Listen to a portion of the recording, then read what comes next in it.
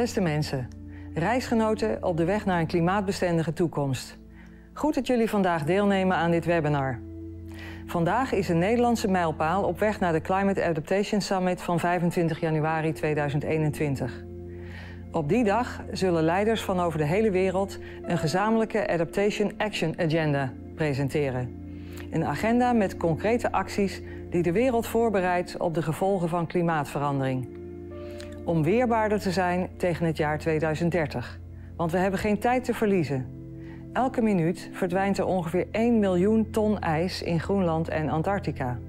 Meer dan 3 miljoen ton in de tijd dat jullie naar dit filmpje kijken. De coronacrisis laat daarnaast zien hoe kwetsbaar we zijn. Hoe moeilijk het is om snel en effectief te reageren als we door een pandemie worden overvallen. Klimaatverandering overvalt ons niet. We weten heel goed wat er aan de hand is. We zien de effecten om ons heen. Droogte, overstromingen, vaker storm, opwarming van de aarde en zeespiegelstijging. We zitten nu in de penarie, dus we moeten ook nu wat doen. Daarom delen we onze kennis en ervaring en bundelen we onze krachten wereldwijd. Want klimaatverandering speelt overal en vraagt overal om maatregelen. Van delta's tot droge hoogvlaktes. We hebben in Nederland een eeuwenoude mondiale reputatie op het gebied van waterbeheer en nu ook van klimaatadaptatie. Vandaag staan negen Nederlandse innovaties centraal. Negen interactieve webinars over de Nederlandse aanpak, waar de rest van de wereld hopelijk wat aan kan hebben. Klimaatverandering beïnvloedt ons dagelijks leven. Het is een mondiaal probleem dat vraagt om een mondiale gezamenlijke aanpak. In januari 2021 organiseren we daarom de Internationale Climate Adaptation Summit. En vandaag bespreken we daarvoor een aantal Nederlandse showcases. Ik wens jullie een mooie en inspirerende dag.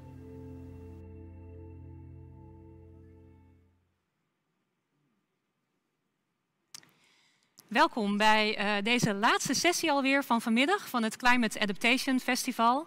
Online helaas, maar uh, goed dat jullie er zijn. Um, mijn naam is Annemiek van Bentum en ik ben de komende anderhalf uur jullie uh, moderator, zoals dat dan zo mooi heet. En uh, goed om te weten is dat het festival van vanmiddag, dat dus georganiseerd is door gemeente Amsterdam, dat dat onderdeel is van een serie events in aanloop naar de Climate Adaptation Summit. Waar als je eerder was ingelogd, had je de video van minister van Nieuwenhuizen kunnen zien. Zij refereerde daar ook al aan. Die summit die vindt plaats op 25 en 26 januari volgend jaar, ook online. En dat is het moment dat er een wereldwijde klimaatagenda, klimaatadaptatieagenda wordt gelanceerd. En dat ook communities wereldwijd met elkaar in gesprek gaan over wat er nou moet gebeuren om ons goed voor te bereiden op de gevolgen van klimaatverandering. Nou, ik ben hier nu uh, in Amsterdam met mijn uh, tafelgasten die jullie zo zullen zien. En ook in Amsterdam speelt het onderwerp klimaatverandering natuurlijk. En hebben we daar ook al last van, want we hebben een droog voorjaar achter de rug. We hebben een ontzettend hete zomer gehad. Uh, waar echt plekken waren in Amsterdam waar je niet wilde zijn. Met als gevolg dat iedereen de parken introk en uh, naar het water ging. Wat in coronatijd dan ook weer niet heel handig was. Maar, uh, en de afgelopen maanden hebben we natuurlijk ook weer de nodige regen gehad. Dat geeft allemaal aan dat het echt belangrijk is dat ook een stad als Amsterdam zich gaat voorbereiden op die veranderende weersomstandigheden. En daar is Amsterdam al heel erg mee bezig. Dat doet ze niet alleen, dat doet ze met allerlei partners. En daarom gaan we het vanmiddag daar ook over hebben, over de weg naar een klimaatadaptieve stad. En voordat ik uh, mijn eerste gast aan jullie ga voorstellen, uh, gaan we eerst nog even naar iemand anders die jullie welkom wil heten. En dat is wethouder Laurens Evans. Welkom, welkom bij dit festival en leuk dat jij je hebt aangemeld. De mens is een onderdeel van de natuur, maar helaas verpesten we die natuur ook heel snel. Daarom moeten we klimaatverandering tegengaan en moeten we strijden voor een klimaatbestendige samenleving. Dat doen we als stad bijvoorbeeld door allemaal innovatieve projecten te starten, zoals de blauw-groene daken of de verkoelende sportvelden. Maar we moeten vooral allemaal zelf beseffen dat we onderdeel zijn van die natuur. En dat betekent geen tegels en dergelijke, maar planten en bomen. Die moeten we zien in onze eigen omgeving. Die bijdrage kunnen we allemaal leveren. Maar ik ben vooral heel blij dat jij jouw bijdrage wil leveren. Jouw bijdrage op dit festival. Veel plezier.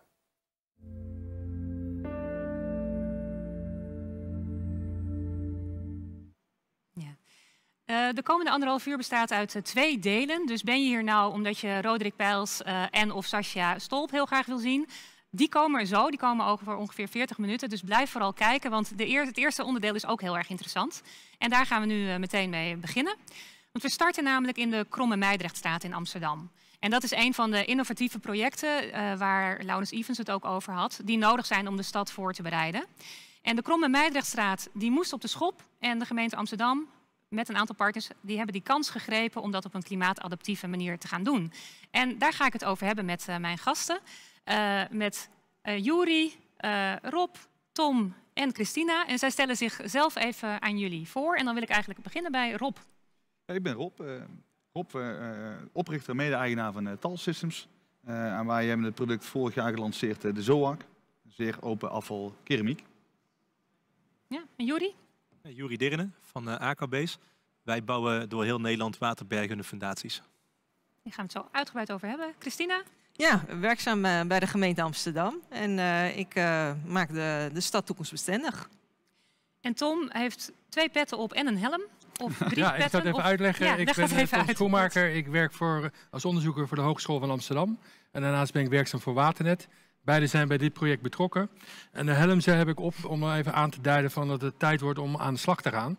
Om echt uh, nu straat voor straat uh, onze stad klimaatbestendig te maken. En uh, wat mij betreft is er al genoeg gesproken en we weten hoe het moet. En het is gewoon een leuk voorbeeld om te zien van hoe het kan. En dat willen we graag laten zien vandaag. En daar gaan we vanmiddag nog verder over spreken, maar inderdaad. ook laten zien inderdaad. Wie hier ook in de zaal is, of op het podium, is Lisette Heijken. Zij is onze chathost al de hele dag, dus dit is haar uh, derde of vierde sessie. en zij houdt de chat bij. En Lisette is community manager bij Amsterdam Rainproof. Dus heb je een vraag, heb je een briljant idee of een opmerking, zet het in de chat. En dan kijken Lisette en ik wat interessant is om ook op dit podium te bespreken met de gasten. Maar laten we eerst gaan kijken in de Kromme Meidrechtstraat.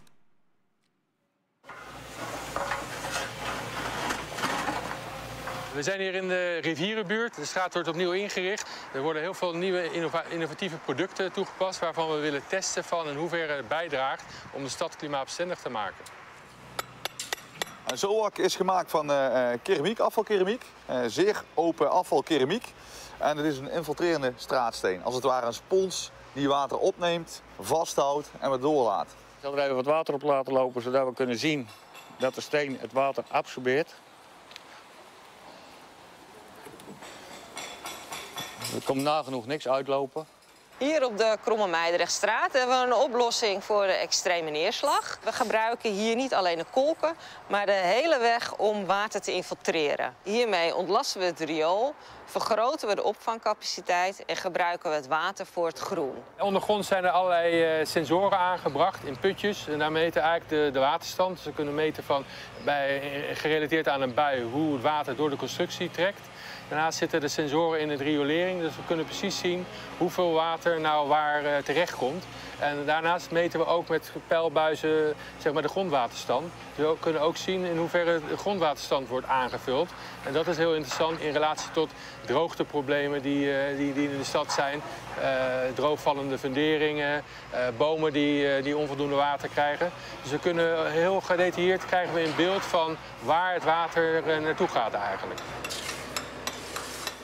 Heel belangrijk is dat deze puin op de juiste manier aangebracht wordt, zodat hij altijd schoon blijft om zijn waterdoorlatendheid te behouden. Voor het aanbrengen van het materiaal hebben we hier de akkoorden gebruikt en, en scheidingsvliezen. De akkoorder is een soort honingraaddoek die ervoor zorgt dat de stabiliteit die je, die je verliest op het moment dat je fijne fractie eruit haalt, dat compenseert het weer. Hij immobiliseert de steenslag. En, en, heeft daardoor een, een, ja, een, positieve werking op de constructie. De scheidingsvliezen zijn bedoeld om de fracties van bovenaf en vanaf de zijkant te voorkomen dat die in de AKB's komen en daarmee de holle ruimte weer verdichten. Het unieke van AKB's in dit project is eigenlijk uh, het gebruik van circulaire materialen. Hier is het residu van uh, verbrand restafval gebruikt. Door de saving haal je eigenlijk de kleine fractie eruit. Dan ontstaat er holle ruimte. En die holle ruimte is uiteindelijk de bergingscapaciteit die nodig is. Het water infiltreert direct de ondergrond in. Wanneer het heel warm weer wordt, gaat dat water verdampen. Waardoor de klinker afkoelt, waardoor het bijdraagt aan de bestrijding van hittestress. Het mooie aan dit product is dat zowel de klinkers als de fundering circulair zijn, waarmee we de effecten op klimaatverandering terugbrengen. Mooi om te zien. Eh, Rob, ik begin bij jou, want Ja. jij bent de uitvinder, Ja. zo kan ik het wel zeggen, denk ik, van de ZOAC Ja. als eh, alternatief, of zeg dat, variant op de ZOAP. Ik neem aan dat je daar je naam op gebaseerd hebt. Ja, de- Vertel, de naam bij je? Klopt, de naam is eh, herleid eh, vanuit de ZOAP. eh, maar dan hebben we de K toegevoegd en de B weggelaten. Het is een zeer open afval keramiek. Hij is gemaakt van keramische afval, afkomstig uit China. Op dit moment produceren we hem in China, omdat er in Europa geen productiefaciliteiten zijn. En hij is gemaakt van keramische afval, fijne tegels, wc-potjes en dergelijke. En dat wordt geperst en daar wordt deze tegel geproduceerd. En dat maakt hem extra absorberend, Ja. in vergelijking tot de gewone straatklinker die we kennen.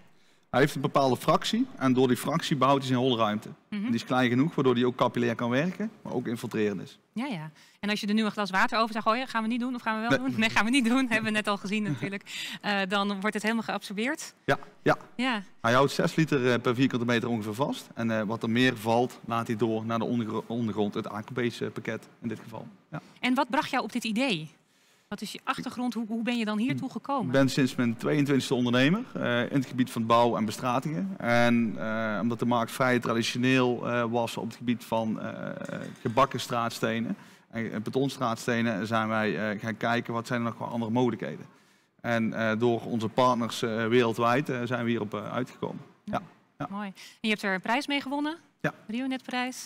Prijs begin dit jaar. En eh, het was heel spannend. 300 gemeentes moesten een, een keuze maken en daar eh, zijn wij gewonnen. Ja. Oké, en die 300 gemeenten, zijn dat dan ook allemaal klanten van je? Eh, nog niet, Nog we niet. doen het best. We doen het best, ja. Ja. ja. En waarom heb je gekozen voor restmateriaal? Waarom vind je dat zo belangrijk? Restmateriaal, het belang van dit product is, we hebben een, een, een keramisch eh, grondstof gebruikt, wat, wat op dit moment nog niet gebruikt wordt als restmateriaal. Het wordt nu als fundatie gebruikt onder een weg eh, of dergelijke. En we gaan juist het goede grondstof eruit pakken en, en eh, dat gaan we inzetten voor een, eh, eh, ja, een up- opgewaardeerd product. Ja. Ja. Mooi. Mooi hoor, mooi product. Eh, dat brengt me naar Juri, want jullie producten hangen natuurlijk heel erg met elkaar samen. Eh, jij hebt een monster bij je. Dat hebben we daar liggen. Eh, maar vertel even, hoe is Aquabase tot, ontstaan? En- Ja, Aquabase is eigenlijk een, een samenwerking van een aantal bedrijven die bij elkaar gekomen zijn vanuit het geloof dat je beter kan werken in concepten en daarmee goede functionele eh, constructies kan bouwen dan dat je ehm, losse producten aan elkaar probeert te plakken aan één geheel.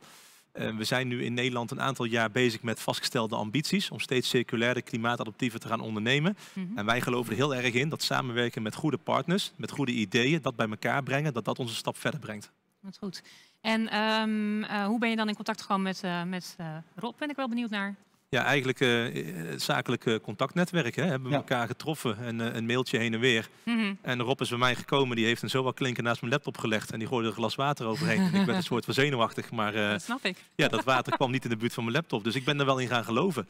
En het mooie aan, eh aan Rob's systeem is dat, dat het water naar beneden wordt getransporteerd door de holle ruimte van, het, eh, van de klinker. Mhm. Eh, maar dan heb je juist een pakket nodig wat het water weet vast te houden en goed weet af te geven aan die ondergrond om de droogte tegen te gaan en eh, het water zijn plek te laten vinden.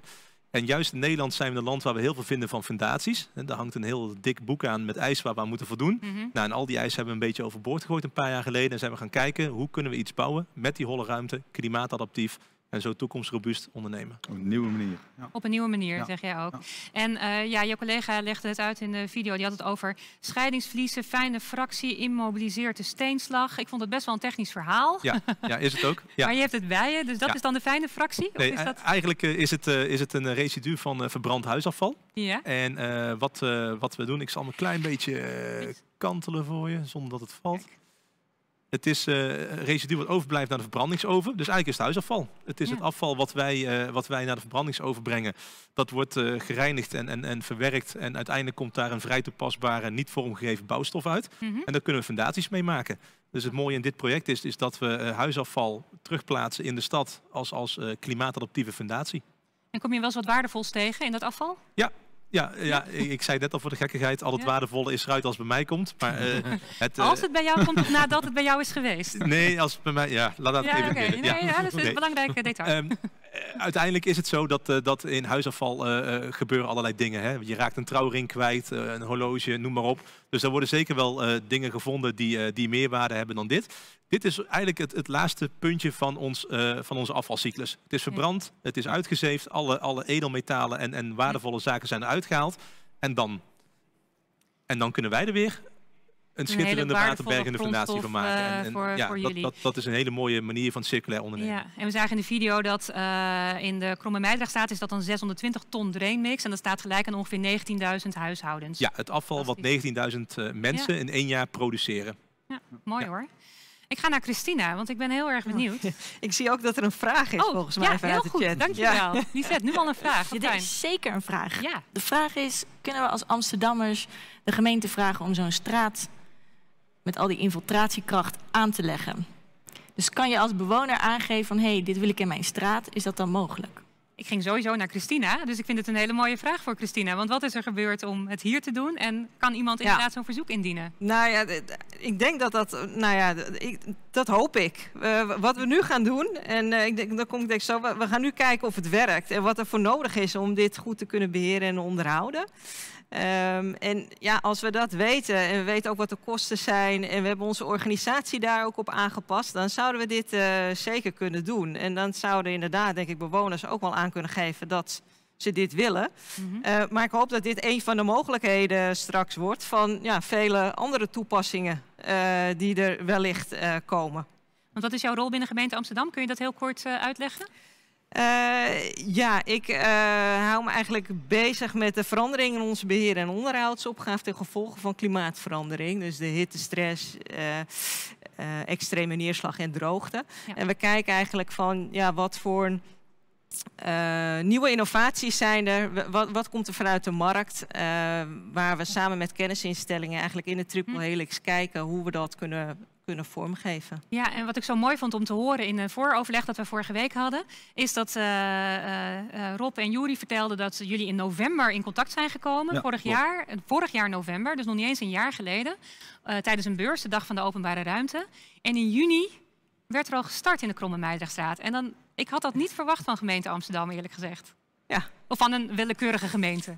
Nee, ja, dat is, inderdaad heel snnel gegaan. Ja. En ik denk dat daar de kracht zit, is dat we dat vanuit onze beheer- en onderhoudsopgave eh, doen.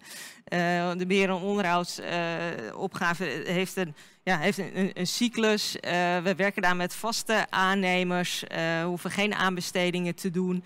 Ehm, ja, en de risico's zijn ook niet zo groot. Dus ik denk dat dat maakt eh, waardoor het zo snel gegaan is. Eh, en daarnaast hebben we ook al de juiste mensen meegenomen in dit verhaal. eh, ja, die uiteindelijk daar wat van moeten vinden. En dan is een kwestie van ja, aangeven aan het projectteam dat we dit graag willen. Ja. En dan dus de Kromme. Meidrachtstraat stond op de planning om iets te gaan doen. Hè? Dus dat stond in die cyclus, die jarenlange cyclus Zeker, die je ja. hebt. En dat was het moment van, nou, eh, waar kunnen we nu eens gaan kijken? Waar kunnen we dit gaan toepassen? De Kromme Meidrachtstraat. Ja, als je dan toch al de, de weg eh, vervangt, dan kun je dat beter maar meteen eh, goed doen. Ehm, Want we hebben ja, doelstellingen. We hebben in Klimaat Parijs, maar ook Amsterdam heeft bepaalde doelstellingen. We willen in 2050 willen we klimaatadaptief worden, maar ook circulair. Ja, nou. En dan moeten we inderdaad, wat eh, Tom mooi zegt, dan moeten we inderdaad nu eh, aan de slag. Ja. Nou, mooi bruggetje naar Tom. Want eh, Voilà. toen wij elkaar vorige week spraken, zei je... het is een match made in heaven. Die Ja. quote heb ik onthouden. Nou, kijk, ja, zo zie ik het ook wel. Want je ziet hier een mooi voorbeeld van hoe markt, innovaties, innovatieve opdrachtgever bij elkaar komen. En ja, met nieuwe dingen wil je gewoon weten van, werkt het nou? En daar heb je vaak de kennisinstellingen voor nodig, waar ik dan voor werk, om in de praktijk te gaan meten, eh, om te kijken van, hey, werkt het nu, eh, werkt het over twee jaar ook nog? Dus dat willen we hier ook gaan onderzoeken, zodat eh, de stad ook weet van in, in hun beheeropgave van dat het een robuuste oplossing is. Voordat je heel de stad uitrolt met dit soort eh, be- eh, bestratingen, dit soort wegen, wil je gewoon weten, Ja. doe ik het nou goed? En dat, Ja. daarvoor zitten wij aan tafel. Ja, nou, daar gaan we zo meteen ook nog even dieper op in. Ehm, en vanuit Waternet, want jij zit hier inderdaad met verschillende petten en helmen, hadden we het al over. Waarom is het voor Waternet ook zo belangrijk? Ja, kijk, net zoals Christine al vertelde, de, de straat is vervangen, maar daaronder zit de riolering. En vaak is dat gewoon een symbiose. Als de bestrating eruit gaat, dan wordt het riool ook meteen vervangen. Ja. Om die opgaves gewoon gelijktijdig te laten lopen, om te voorkomen dat die straat vaker eh, op schop moet. Dus met het, de rioolvervanging hebben wij ook eh, de straat vervangen. En dan is het hier aardig dat je juist met dit soort maatregelen kan je eh, voor, eh, zeg maar, die, die, die opgave die eh, op het riool zit verminderen. Het water wordt nu Ja. vastgehouden in de, in de van de weg, komt niet in het riool terecht. Dus dat is alleen maar goed om de hele stad klimaatbestendig te krijgen. Ja, en het wordt weer gebruikt bij de droogte. Nou ja, precies. Het dat- water wordt aan de andere kant weer gebruikt juist om eh, de grondwaterniveau aan te vullen. Ja. Dus in die zin, ja, eh, match made in heaven. Ja, nou ja, het is duidelijk inderdaad. En eh, ehm, een vraag van eh de chat. Ja, dus er worden best wel een aantal vragen gesteld. Ehm, om even nog eh, in te gaan eh, op Tom. Als je dan die water, het water hebt wat infiltreert, eh, hoe gaan we daarmee om? Komt er dan ook meer vuil in de ondergrond? Of hoe wordt dat gefilterd door de tegels? Ja, het mooie van deze, deze tegel is natuurlijk dat het ook als een soort filter werkt. Dus daar, hè, het meeste vel blijft gewoon aan de bovenkant hangen. Kan er niet doorheen zakken. En dat is, eh, ja, die straat moet gewoon gereinigd worden. Dus dat vuil wordt gewoon afgevoerd. Dus in die zin, het vuil trekt niet eh, direct de bodem in. Er zal altijd wel wat vuil meekomen. Maar eh, de, de ervaring leert dat dat binnen de grenzen blijft van wat milieutechnisch verantwoord is. Eh, maar ja, het is wel een aandachtspunt waar ook verder onderzoek naar gedaan moet worden. Om- Ja. ja. Nog in? Ja, en dan misschien nog eh, aansluitend hier op de tegels. ehm, eh, kunnen die ook voor in de tuin? En werken ze ook tegen de hitte? Dus ze laten meer water door, maar zijn dit ook tegels die zorgen voor minder hitte, stress? Dus dat er meer, ja. We hebben, we hebben op dit moment ook uh, reeds tuintegels in de, de maten 3060 en 3030. Uh, dus dat kan, uh, zowel voor een oprit als voor een terras. Uh, daarnaast houdt de tegel houdt, water vast, 6 liter per vierkante meter. Het water wordt vastgehouden en op warme dagen wordt het water ingezet tegen hittestress. Dat gaat verdampen, waardoor Hmm. de klinker afkoelt en dus ook verkoeling geeft aan de omgeving daarna. Nou, dus Ja. als we volgend jaar weer zo'n warme zomer krijgen, dan zitten de mensen in de Kromme Meidrechtstraat, die zitten er hopelijk net weer wat koeler bij. Klopt, het is wel zo. Het water wat in de klinker zit zal eh, eh, verkoelen. We hebben een Mhm. lange, eh, lange hittegolf, dan, dan Mhm. uiteindelijk is het verdampt. Ja, dat dus we, moeten natuurlijk ook water gaan toevoeren om, om meer te kunnen koelen. Ja, ja. oké. Ja. Ja, dat was mee voor nu, Lisette. Komen we zo... Er is nog een vraag. nou, Eh, het, misschien doe dan ook Doe nog het. even, want eh, in het begin werd gezegd dat de tegel niet gemaakt werd eh, in Europa, omdat er geen eh, eh, productiecapaciteit was of, of geen mogelijkheden. Ehm, mensen vragen zich af, als je dan naar China gaat, is dat niet een stukje Klopt. minder duurzaam als die tegels dan weer vanuit China deze kant op moeten komen? Klopt. Ehm, eh, je hebt dan een MPI-waarde waar we, waar we het over hebben. Omdat we een start-up zijn, gaan we eerst aan het kijken van hoe kun je het product eh, technisch beter maken. En we zijn nu met partijen in Nederland in gesprek om eh, te kijken hoe we een productiefaciliteit in Europa op kunnen starten. Hm. Maar dat moet een begin zijn en dat is op dit moment China. Eh, daar staat een, een fabriek die het kan, eh, kan maken. Want jullie zijn nu vijf jaar bezig, hè? We zijn nu, het bedrijf is langer bezig. Ja. Zoak bestaat nu sinds twee jaar ongeveer. Ja. En we zijn sinds een jaar goed en wel echt op de markt. Ja, ja. Dus eh, nog wel ambities om het eh, Ambities nog duurzamer te maken. Ja. Heel mooi. Ehm, nou, wat we natuurlijk het liefst zouden zien is dat heel Amsterdam en zelfs heel Nederland eh, misschien wel vol zou liggen met dit soort oplossingen. En dan ben ik heel benieuwd, Christina, eh, hoe kunnen we er nou voor zorgen dat dit niet bij pilots blijft, maar dat dit opgeschaald wordt? Wat is daarvoor nodig? Ja, daar is monitoring dus echt een eh, belangrijke in. Dat we echt gaan kijken van wat het doet, wat we nodig hebben, hoe we het schoonhouden, dat het maximaal blijft eh, functioneren. Ja. En eh, ik denk dat we daar dus de samenwerking met kennisinstellingen heel belangrijk is. En ja, daarom hebben we ook HVA eh, hier, eh, hierbij betrokken. Ja. De Hogeschool van Amsterdam. Ja. We hebben een video van hoe die monitoring eruit ziet. Eh, dus we verlaten Amsterdam even en we gaan naar Limburg, naar Grubbenvorst. Afgelopen donderdag was er in Grubbenvos de opening van het Field Lab. Een teststraat van de nieuwe Zoac-klinker. Dit is uniek in Limburg, Nederland en ver daarbuiten. Onder de aanwezigheden waren onder andere TU Delft, studenten van de Hogeschool Amsterdam en Rotterdam... en diverse bedrijven op het gebied van klimaat en waterschap.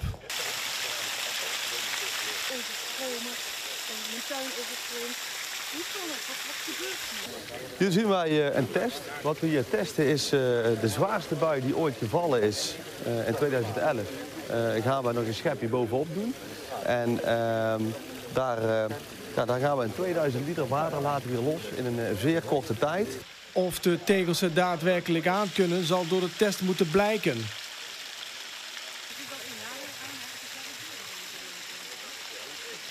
Hij is bijna leeg, eh, zie ik nu. Dus we hebben 2000 liter water is er al, uh, is er al door.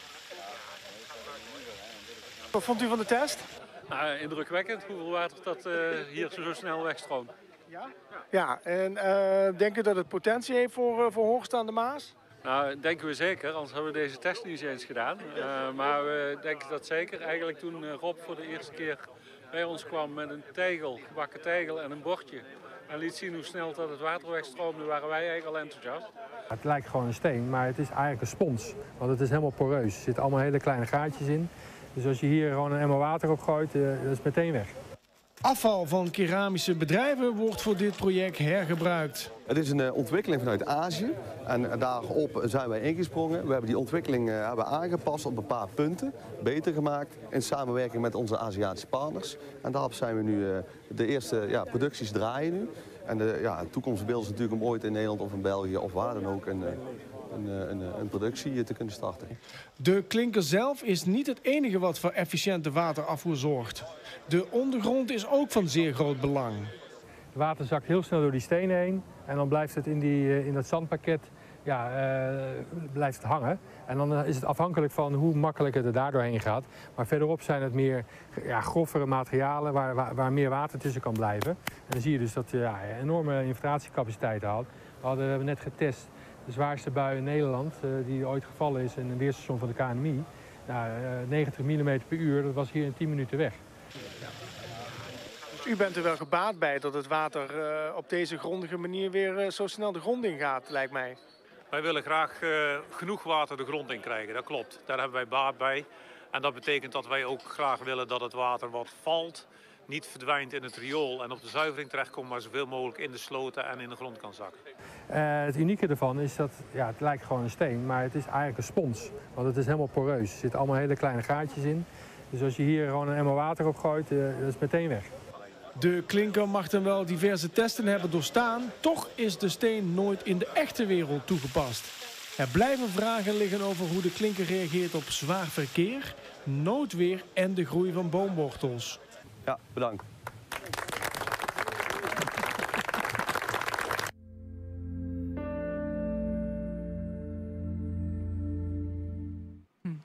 Mooi om te zien, zeg. Zoveel enthousiasme. Uh, heel, veel, uh, ja, heel veel belangstelling. Een hele trotse wethouder, zag ik.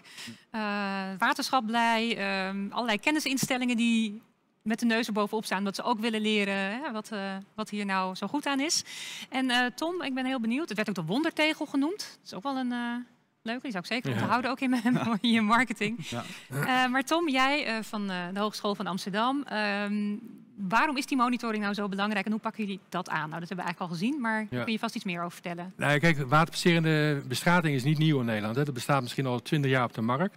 Maar er zijn gewoon wisselende ervaringen mee bij gemeentes dat het te snel vervuilt mm. en dichtslipt.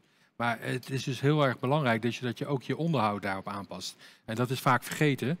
En vanuit de Hogeschool van Amsterdam hebben we nu net een tweejarig onderzoek specifiek daarna gedaan. Hoe kan je nou voorkomen dat die tegels dichtslippen? Hoe moet je het onderhouden? Zodat een hè, gemeente ook daar rekening mee kan houden ja. in hun beheer. Nou, en dat, omdat dit een nieuw product is, uh, ja, wat uh, ja, enorme infiltratiecapaciteit heeft, wil je zien ho hoe lang dat zich ook blijft behouden. En dat gaan we dus ook onderzoeken hier in de, in de KMS. Uh, gaan we vervuiling, ja, korte mijlenstraat. ja. ja. gaan we zeg maar, vervuilingsproeven doen. Gaan we simuleren hoe snel dit nou dichtslipt en wat voor uh, ja, technieken heb je nou nodig om dat uh, zeg maar weer, weer doorlatend te krijgen. Ja. Ja, en dat is het leuke. Het levert voor de gemeente heel veel kennis op hoe ze het in hun beheerprogramma's kunnen mm -hmm. meenemen. Nou ja, en daar heb je echt praktijkgericht onderzoek voor nodig. Dus we zetten gewoon op reguliere basis de, de, de straat af en uh, maken we door middel van full-scale testen, meten wij hoe snel het water wegzakt. En dat is een mooie maat om te zien van ja, hoe, uh, hoe het vervuild is en hoe het, uh, hoe het functioneert. Wat een leuke opleiding ook, als je daar als student aan mag meewerken. Nou ja, precies. We hebben er nu, ja. nu, net weer 50 studenten die staan te trappelen. Die ja. volgen allemaal de minor. Ik hoop dat ze allemaal thuis zitten te kijken ook. ook. en uh, ja, het is natuurlijk een heel uh, leuk item. En uh, nog niet alles is ervan bekend. Dus het vraagt veel onderzoek, veel innovatie. Ja. En dat kan je allemaal samenbrengen. Dus het is gewoon echt een, ja, een beroep van de toekomst ook. Ja, ja wat Waternet doet ook volgens mij heel uitgebreid onderzoek hier. Moeten we natuurlijk niet vergeten. Nee, Waternet -hmm. is... Okay vooral, uh, die doet vooral onderzoek naar waar blijft het water. Hè? Dus de, die, die, die kijkt in de ondergrond, uh, in het riool zelf, om een beeld te krijgen van hey, hoe functioneert dat hele systeem nou ook ten opzichte van de omgeving. Uh, het kader van de droogtebestrijding, van, helpt het nou om ook uh, die grondwaterstanden op peil te houden? Mm -hmm. voert het voldoende af om te voorkomen dat het water op straat blijft staan? Want dat is wat we naar kijk, de plas hier achter je. Ja. Dat willen we hiermee voorkomen. Ja. Dus daarvoor is ook gewoon onderzoek nodig. Dus in die mhm. zin, die, die twee dingen komen in deze straat samen. Mm -hmm. En we hopen dus voor het werkveld kennis op te leveren, waarmee je dit soort technieken makkelijker ja. en veiliger kan gebruiken. Ja, wat ik ook al mooi vind, wat Waternet ook doet, is kijken hoeveel water uiteindelijk dan nog door de kolken uh, naar het riool afgevoerd ja. wordt. En dat is interessant, omdat je op een gegeven moment dan ook kan kijken van... kan je niet kolkloos gaan ontwerpen? Ja, ja, ja. ja. ja. ja. Dus bij iedere, met iedere pilot leer je weer extra natuurlijk. En kun je weer in een volgend project ja, zeker. iets anders uh, gaan, gaan toepassen. Ja, want we kunnen eigenlijk straks zien bij, bij een bui gewoon van waar het water blijft. Hoeveel gaat er naar het riool? Hoeveel gaat er in die ondergrond? En op basis -hmm. daarvan kan je dat uiteindelijk het sommetje maken. Als je een riool kan besparen, ja, dan heb je natuurlijk helemaal een fantastisch product. En dat is, we durven dat hier nog niet meteen aan. Maar we gaan het wel onderzoeken. Ja, maar dan zijn de rioolbeheerders heel blij. Ja, iedereen. Dat minder belasting. gaat, uh... Maar uh, misschien uh, verschuift het probleem dan naar een andere groep die misschien meer moet doen met onderhoud, ja, of niet? Of ja, maar het is vooral, het is vooral ja, je wil geen, geen overlast veroorzaken in de omgeving. Dus Zoals het moet heel robuust zijn. En dat is eigenlijk het maatgevende, denk ik. En uiteindelijk ja, moet gewoon kijken of dit, welke bijdrage dit hier aan levert. Ja, ja. Maar Christina, nog even terug naar de gemeente. Want um, uh, ja, je hebt dan misschien andere materialen nodig om zo'n straat te reinigen bijvoorbeeld of zo. Maar ik kan me voorstellen dat je dat weer niet voor één straat kunt aanpassen. Nee. Dus hoe ga je zoiets dan in je... Hè, en zo'n fundering wordt voor 40 jaar aangelegd. Eigenlijk moet je nu dan alles al gaan aanpakken. Lijkt me best ingewikkeld. Ja, dat is ook ingewikkeld. Ja. En da daarom inderdaad heel belangrijk te weten van wat er dan nodig is. En uh, ja, dat zal waarschijnlijk inderdaad de andere... Wat er nu de eerste resultaat van het eerste onderzoek is... dat je inderdaad een soapcleaner nodig hebt. Nou ja, uh, laten we dat uittesten. En laten we dan ook kijken van wat voor kosten daar, daar uiteindelijk mee gepaard gaan. En hoe we dat dan in de organisatie verder kunnen gaan brengen... als je dit grootschalig wil, zou willen toepassen. Ja. ja. Maar wel fantastisch dat de gemeente Amsterdam het wel aandurft om dit soort pilots uh, te doen natuurlijk. Zeker. Wel, ja, uh, we moeten wel. Ja, want uh, als ja. je in 2050 klimaatadaptief wil zijn, dan moet er en die enorme onderhoudscyclus, dan moet er echt wel iets gebeuren natuurlijk. En ik ben ook wel benieuwd naar jullie de monitoring. Passen jullie daar dan ook je product weer op aan bijvoorbeeld? Ja, wij, wij monitoren al een paar jaar lang op onze systemen. Mm -hmm. En ja, wij geven aan, elk stukje Nederland is uniek. Hè? Nederland heeft een enorme bodemdiversiteit in opbouw. De, de, de, de Zeeuwse ondergrond is anders dan uh, rondom Hm. Arnhem, waar de zandgronden zitten. En wij proberen ons systeem continu aan te passen op de locatie waar we gaan maken. Het kan zelfs zo zijn dat de opbouw die we in de Kromme Meiderenstraat nu gebruiken... niet toepasbaar is op een ander deel um, 5, 6 kilometer verderop. Mhm. Omdat daar de grondslag, grondwaterstanden weer anders zijn. Dus het is van essentieel belang dat je goed blijft kijken naar een stukje maatwerk. En dat de locatie waar je zoiets gaat aanleggen ook uh, geschikt is of je systeem daarop aanpast. En er zit natuurlijk ook heel veel in die ondergrond, hè? aan leidingen, uh, bedrading, bekabeling, van alles. Ja. Dat is ook iets om rekening mee te houden, ja, kan ik me nee, voorstellen. We, we, leven in een snelle wereld. Hè? De, ja. de, kabel is vandaag getrokken en die is morgen alweer oud eigenlijk. Ja, dus dat is, uh, dat is ook een hoop dynamiek. Mm -hmm. En ook daar moet je op inspelen. Ook de, kijk, het, het, gaat niet alleen om rioolbeheer of, of, of, om wegbeheer. Het gaat om het beheer in zijn totaliteit. Ja. En um, ik denk dat het mooie is wat hier gelukt is. Dat al die facetten heel snel dezelfde richting ingekomen zijn. Mooi. En Rob, heb jij al dingen aangepast, bijvoorbeeld aan de ZOAC? Ik denk met name het, het, het kijken hoe, hoe snel vervuild raakt. Mhm. Mm -hmm. En hoe ga je onderhoud daarop inrichten en hoe ga je dat com communiceren naar uh, bewoners, maar ook naar gemeenten. En die samenwerking is gewoon heel belangrijk. Ja. Dus wij gaan ook wel veel leren de komende periode. Ja, wat mooi dat je daar dan ook uh, ja, met elkaar, dat je kunt meeliften ja, elkaar. op elkaars ja. producten, kennis, uh, samenwerking. Ik zie Lisette dat er een vraag is in de chat. Ja, ja. even ja. Um, niet helemaal in het verlengde, maar als we het hebben over vervuiling. Um, kijker vraagt zich af, hoe weten we dat er geen uh, giftige of toxische stoffen zitten? Uh, bijvoorbeeld op dat bordje, nu met al het gruis. Uh, of in de tegel, dat volgens mij ook van allerlei... Ik hoorde even een wc-potje in de tegel, dus er zit allerlei materiaal in. hoe weten we zeker dat dat goed materiaal is... en dat het dus ook geen, geen consequenties heeft voor onze bodem? Ja, in Nederland uh, hebben we een heel strenge wetgeving, de wet BBK. Dat is besluit bodemkwaliteit. En daarin staat van alles omschreven over vormgegeven. Uh, Rob zijn tegel is een vormgegeven bouwstof. Mijn materiaal is een niet vormgegeven bouwstof. En aan beide producten hangen hele strenge uitlogingseisen. En door te voldoen aan die uitlogingseisen voorkomen we slechte emissies in de bodem en houden we ons, uh, ons, ons bodemdiversiteit op peil. we, we, mogen een klein beetje verontreiniging meenemen, maar dat, dat, dat is een zeer marginale hoeveelheid die in een product mag zitten. Dus vandaar, um, voor ons is het belangrijk dat we alles op partijkeuringen toetsen. Dus elke batch die we maken wordt getoetst aan die strenge regelgeving. Voldoet die, wordt die vrijgegeven voor productie. Dus dat is in Nederland uh, zeer streng Mm. afgekaderd. Nou, hopelijk is daarmee de kijker thuis gerustgesteld. Ja. Hiermee. Ehm, we hebben nu twee gemeenten gezien, hè? Grubbevorst en uh, Amsterdam. Heel groot en ik denk niet heel groot. Horst aan de Maas is dat, gemeente. Uh, merk je daar verschil in? Rob, vooral nu even, ben ik benieuwd naar. Ik vind het heel knap dat het in Amsterdam, een zeer grote gemeente, dat we zo snel hebben kunnen doorschakelen. Dat had ik gewoon niet verwacht. Dus dat, uh, daar zijn we ook heel erg blij mee. Waardoor je ook uh, sneller meters kunt maken. Ja. ja. ja. ja. Nou, de urgentie is ook aanwezig in een grote gemeente en in een kleine gemeente. Ja. Dus Mm. wat dat betreft is er geen. Er, er zit geen verschil in. Een kleine gemeente kan nu ook niet afwachten met het klimaatadaptief handelen. Van nou, kijk eens even wat de grote jongens doen en dan, Mhm. dan zien we wel. Het is een landelijk probleem. En, en uh, ik merk dat zowel grote opdrachtgevers als kleine opdrachtgevers er wel heel fanatiek mee bezig zijn. Om een, een, in ieder geval een draaiboek te creëren uh, richting dat 2050 moment ja. om, om ja. klimaatrobuust te zijn. Ja, dus dat moet echt nu wel gaan, uh, gaan gebeuren. En nou denken veel mensen, en ik zelf ook altijd hoor, als ik aan klimaatadaptatie denk, dan denk ik ook vooral aan groen. He, er is ook een NK tegelwippen geweest, dus Amsterdam en Rotterdam, zoveel mogelijk tegels eruit en groen erin. Um, hoe gaat dat samen met uh, dit systeem? Ja, kijk, uh, we hebben een openbare ruimte. Mhm. Mm -hmm. en, en die openbare ruimte hebben we nodig om, om uh, trams, bussen, fietsers uh, te kunnen laten manoeuvreren door een stedelijk gebied heen. En um, ik ben groot voorstander van het vergroenen van, van de stedelijke omgeving. Alleen er zijn nu eenmaal plekken waar je niet aan een verharding kan ontkomen. Mhm. Mm -hmm. nou, en op die plekken, daar ligt onze focus nu. Ja, ja. mooi. Um, kijken of er nog vragen zijn. Nee, ga ik even, even door. Um, ik kan me ook voorstellen dat je dan zo'n uh, daar, daar staat in zo'n straat en aan het werk bent en met de camera erop. Nou, dat is in Amsterdam dan. Uh, uh, nou, de, de, de, monitoring gaat nog plaatsvinden. Maar dat bewoners ook wel nieuwsgierig worden. Merken jullie daar iets van?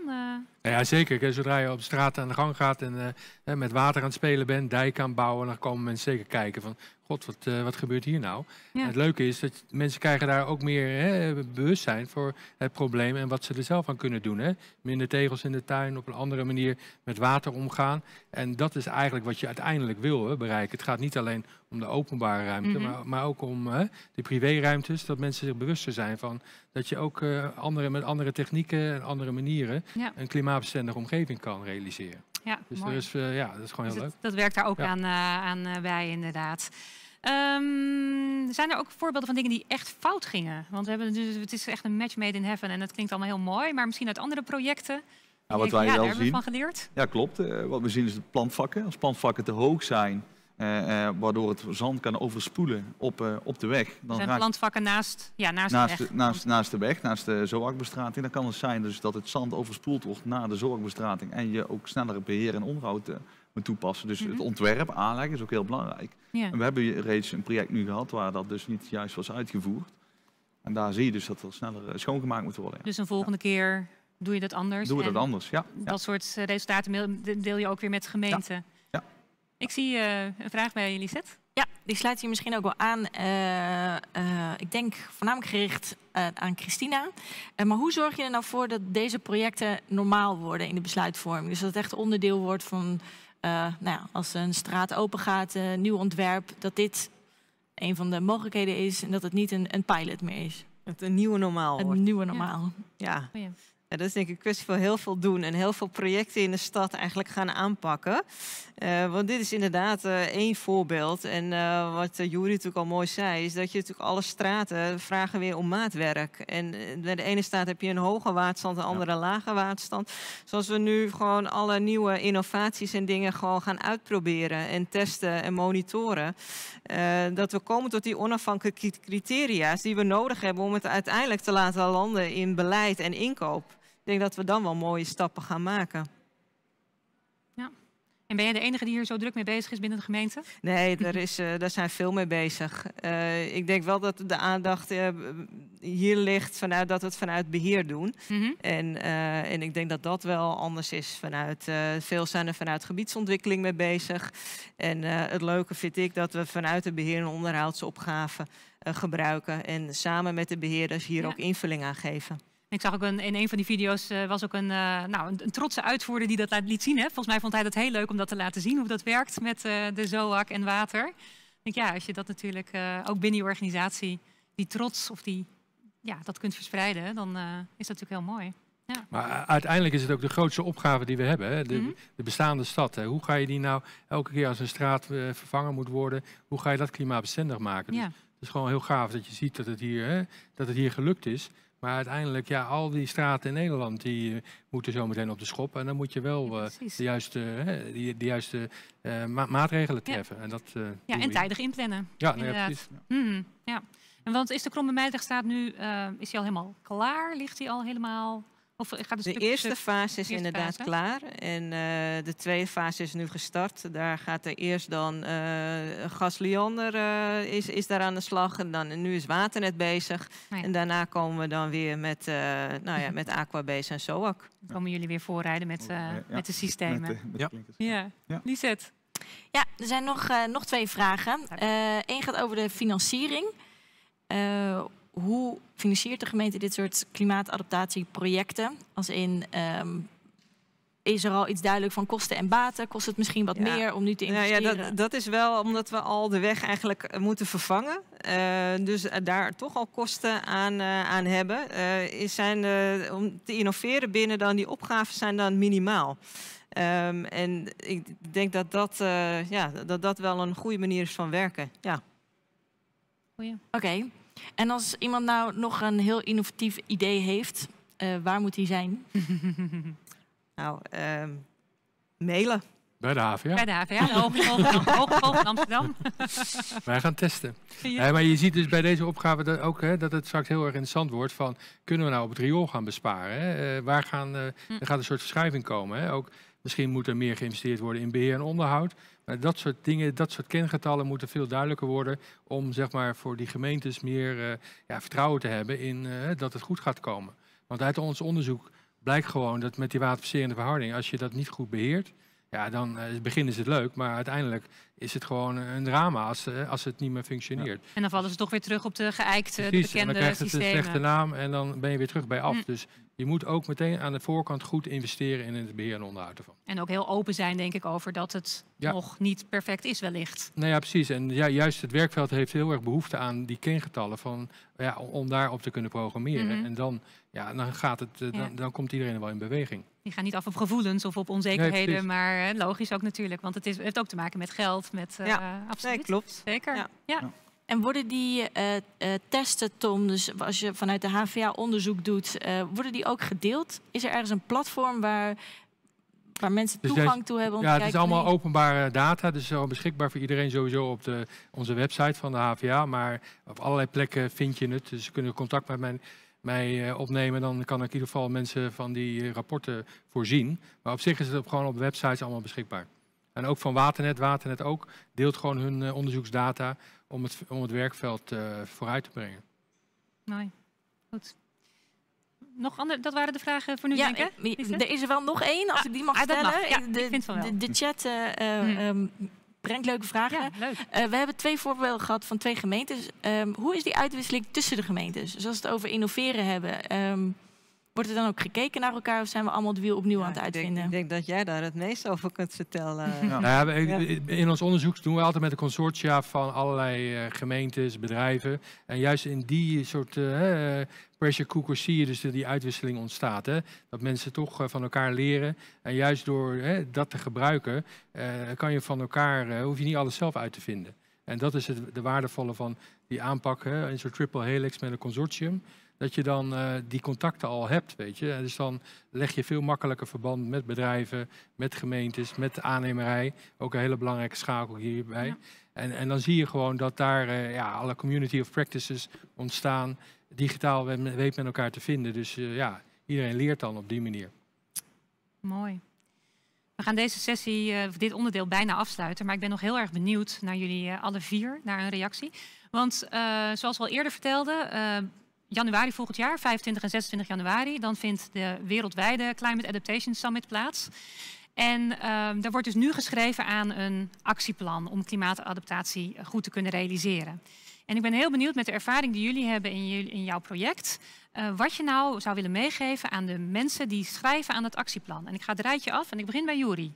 In één zin ongeveer, één of twee. Um, om, een stukje omarmen en, en zorgen dat je daar een sterke visie bij hebt. Die, niet, uh, die, die eigenlijk meer geënt is op, op het klimaatneutraal en klimaatadaptief ondernemen. En dat is mogelijk in deze tijd. Dat is mogelijk in deze tijd. Yes, we can. Mooi. Ik denk ook vanuit de pilotfases ook doorschakelen naar grotere uh, projecten. Ja, dus opschalen. Opschalen. Opschalen. Ja, ik zeg, maak het zo concreet mogelijk hè, in die plannen. Het is altijd op een hoog abstractieniveau. En zorg dat je ook investeert in onderzoek. Hè, want meten is weten. En dat geeft gewoon vertrouwen waarop je verder kan. Ja, onderzoek. Christina? Ja, dan wil ik hem wel afsluiten met dat regenwater geen afval is. En dat we dat, uh, dat, we dat moeten gebruiken om de stad te koelen en uh, droogte tegen te gaan. Mooi. Gaan we kijken of we dat kunnen meegeven aan ja. degene die nu schrijven aan die uh, agenda. En ik vind het ook wel een leuke vraag voor in de chat, voor Lisette. Ik ben heel benieuwd voor de mensen die nu aan het kijken zijn thuis. Wat zou jij nou willen meegeven aan degene die de internationale climate adaptation Action Agenda, zo heet die geloof ik officieel, uh, aan het schrijven zijn. Dus heb je een idee, wil je iets kwijt, zet het in de chat en dan kijken we of we dat ook op een of andere manier bij die personen terecht kunnen laten komen in aanloop naar de, de summit. Dank jullie wel, uh, Rob, Tom en Christina. Ik wens jullie ontzettend veel succes uh, met dit uh, fantastische project. Ik, ja, ik ben benieuwd hoe het er over een aantal jaren bij ligt en hoeveel straten er dan zowel in Amsterdam als in Nederland overgestapt zijn. Dus heel veel succes en dank voor jullie bijdrage. Jullie blijven heel even zitten terwijl we gaan, gaan voor we gaan wisselen zometeen. Um, want we hebben net al even een uitstapje gemaakt naar Limburg vanuit Amsterdam. Maar we gaan nu nog een veel grotere uitstap maken. Want we gaan door naar het volgende onderdeel. En dat is onder andere met Roderick Pels professioneel kitesurfer. Die komt op de mooiste plekken op aarde. En daar gaat hij ons zometeen wat jaloersmakende beelden van uh, laten zien. Dus uh, kwam je alleen maar voor dit panel, blijf alsjeblieft kijken, want de volgende drie kwartier zijn ook heel erg leuk. En Sascha Stolp van gemeente Amsterdam schrijft ook aan om samen met Roderick in gesprek te gaan over de kracht van de pracht. Wij gaan hier de wissel doen. Uh, dus gastenwissel en even schoonmaken, want dat moet ook tegenwoordig. En in de tussentijd kunnen jullie kijken naar een eh, video alvast van Roderick. Tot zo. Hallo allemaal. Mijn naam is Roderick Pels en ik ben een professionele kitesurfer. Ik reis de hele wereld over op zoek naar de mooiste en beste locaties om mijn sport kitesurf te beoefenen. Op dit moment ben ik in Noorwegen. Ik ben op een CO2-neutrale manier helemaal naar de Lofoten gereisd om te proberen om als eerste kitesurfer onder het noorderlicht te kiten. Over enkele dagen ben ik terug in Nederland, maar eerst zou ik jullie graag een video willen laten zien over wie ik ben, wat ik doe en wat kitesurfen precies inhoudt.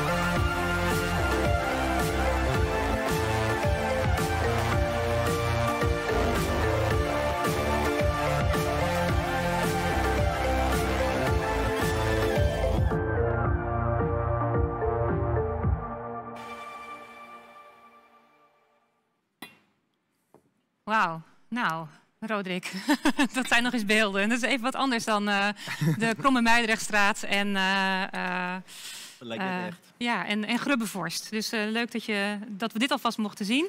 Roderick is bij me aangeschoven en Sascha ook, maar daar komen we zo meteen uitgebreid bij terug. Uh, want ik begin eerst nog even bij Roderick. Jij bent echt net terug uit Noorwegen, ja. vanmorgen. Ja, vanochtend ben ik teruggekomen, ja. Ongelooflijk, op een ja. klimaat- of een CO2-neutrale manier. Dus heel fijn dat, je hier, dat het gelukt is om hier te zijn. als je tegenwind had gehad, het waaide best wel hard hè, vandaag, gisteren. Maar als je tegenwind had gehad, dan had het misschien nog omgespannen. Ja. jij bent al 28 jaar professioneel kitesurfer. Dat brengt jou op de mooiste plekken ter aarde. Ja. En dat heeft jouw blik op de wereld volgens mij veranderd. En daar ga jij ons, ik ga ook even achteroverleunen, jij gaat ons van alles laten zien en vertellen. Ja, klopt ja. ja. Nou, thanks voor de introductie. Um, nou, mijn naam is uh, Roderick Bels, zoals jullie eigenlijk net in de video hebben gezien. Um, en eigenlijk heb ik me net in de video wel een klein beetje geïntroduceerd, maar ik wil eigenlijk iets meer achtergrond geven voordat ik um, al mijn verhalen ga vertellen. mijn carrière als professionele kitesurfer is eigenlijk, ik zou zeggen 2013 begonnen. Uh, in 2012 studeerde ik op de Erasmus Universiteit in Rotterdam.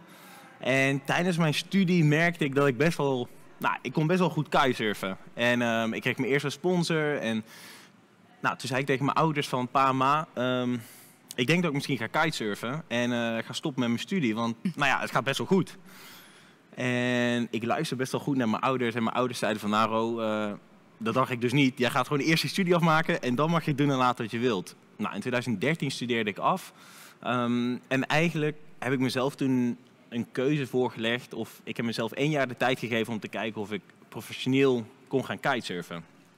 Als het niet zou lukken, had ik nog altijd een studium op terug te vallen. En als het wel zou lukken, nou, dan is dat mooi meegenomen.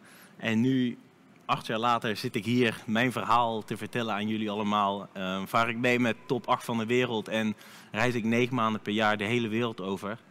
En ja, ik denk dat ik wel mag zeggen dat ik enorm trots ben dat ik, de, dat ik deze keuze heb gemaakt. En uh, dat ik nu ben waar ik nu ben. En eigenlijk um, zou ik twee uur lang kunnen vertellen over mijn mooiste verhalen en avonturen. Maar time is ticking. En um, ja, ik wil jullie eigenlijk meegenemen om een avontuur dat in 2018... Um, dat ik in 2018 heb gedaan. Ik ben namelijk naar Tanzania gegaan. En ik weet niet of jullie toevallig Lake Natron kennen. Nee. Nee? Nog nooit van gehoord? Nou, Lake Natron is uh, een meer, een bloed- en vuurrood meer. Dat ligt in Tanzania, in de Serengeti-vallei. En dat is eigenlijk een meer dat um, 70 graden heet is. En het heeft een pH-waarde van meer dan 10. Dus dat is eigenlijk vergelijkbaar met gootsteenontstopper. Mm. En het mooie is eigenlijk dat ik daarop heb gekitesurfd. Um, en eigenlijk, ja, ik kan duizenden woorden vertellen, maar ik wil liefst eigenlijk gewoon een video, korte video laten zien, zodat jullie een beetje weten waar ik over praat. Um... We're in Africa, and I'm to put a kite surf in a toxic lake. It's to be a real mission to get there, and it's to be a poisonous lake. And then I was like, okay, well, let's just do it. As a photographer, I want to have this great shot with this red lake, with this athlete inside.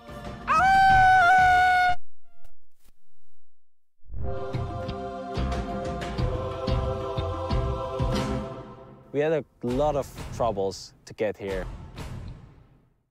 Then that day arrives that I have to kite on this poisonous lake.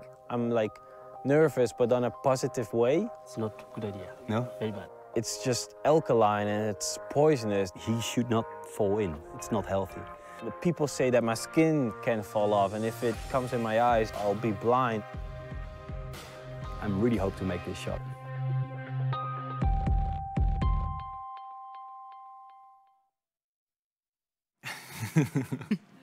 Oké. ja. Oh. Um, eigenlijk uh, waarschijnlijk dat jullie nu allemaal denken van uh, waarom en hoezo zou je dit, zou je dit doen? Nou, eigenlijk om bij het begin te beginnen in 2018 had ik een sponsor, Asus. En zij uh, hebben, hadden een campagne in Search of Incredible. En ik zat um, daar met, met Rijn, de fotograaf, en een hele goede vriend van mij, zaten we daar aan tafel. En eigenlijk legden zij een beetje de vraag bij ons neer. Stel dat jullie een groene brief, een vrijkaart hebben. Wat zou jullie in Search of Incredible zijn? Nou ja, eigenlijk voordat ik adem kon halen, um, zei Rijn eigenlijk, ik wil, ik wil Roderick laten kitesurfen in Lake Natron. En voordat ik eigenlijk Lake Natron kon googlen, keken vier, acht grote ogen mij aan van uh, en gaan we het doen? Nou, ik ben zelf denk ik wel een persoon die van uitdagingen, avontuur en nou, adrenaline hou. En ik zie wel obstakels als kansen. Um, dus nou, misschien naïef, maar ik ging er vol goede moed in. En um, wij kregen best wel veel kritiek eigenlijk van mensen die zeiden van... nou, daar heb je weer twee surfers die dit in een kroeg hebben bedacht uh, met, op een bierveeltje en, en bla bla bla. Maar ja, in tegenstelling tot dat eigenlijk hebben we ons gewoon echt maanden goed voorbereid op dit avontuur. Ik heb, ik heb met een bioloog, met een chemicus, met een natuurkundige gesproken. En eigenlijk gevraagd van hoe, hoe zouden jullie reageren als jullie hiermee in aanraking komen? Wat zouden jullie doen? En nou, wat ik net al zei, luister ik best wel goed naar mijn moedertje of naar mijn ouders. En mijn moeder zei van, nou, um, tenzij jij een Excel-bestand of een presentatie kan maken met uh, alle doemscenario's opgeschreven en voor elke doemscenario minimaal twee oplossingen kan verzinnen, dan uh, krijg je van mij groen licht. Nou, na een hele uitgebreide presentatie kreeg ik groen licht van mijn moeder en waren wij onderweg naar Tanzania. Na vier dagen reizen uh, en slapen op de Afrikaanse savanne tussen hyena's en leeuwen in tentjes kwamen we eigenlijk aan bij Lake Natron in het pikken donker.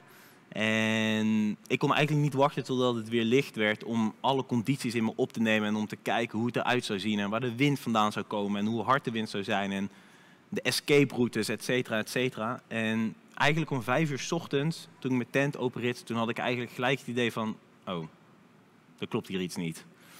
En misschien kun je het hier op deze foto achter mij zien van uh, wat er mis is. Um, het is een pikzwart meer. En het hele doel was om een, ja, een wereldfoto te maken op een bloed- en vuurrood meer.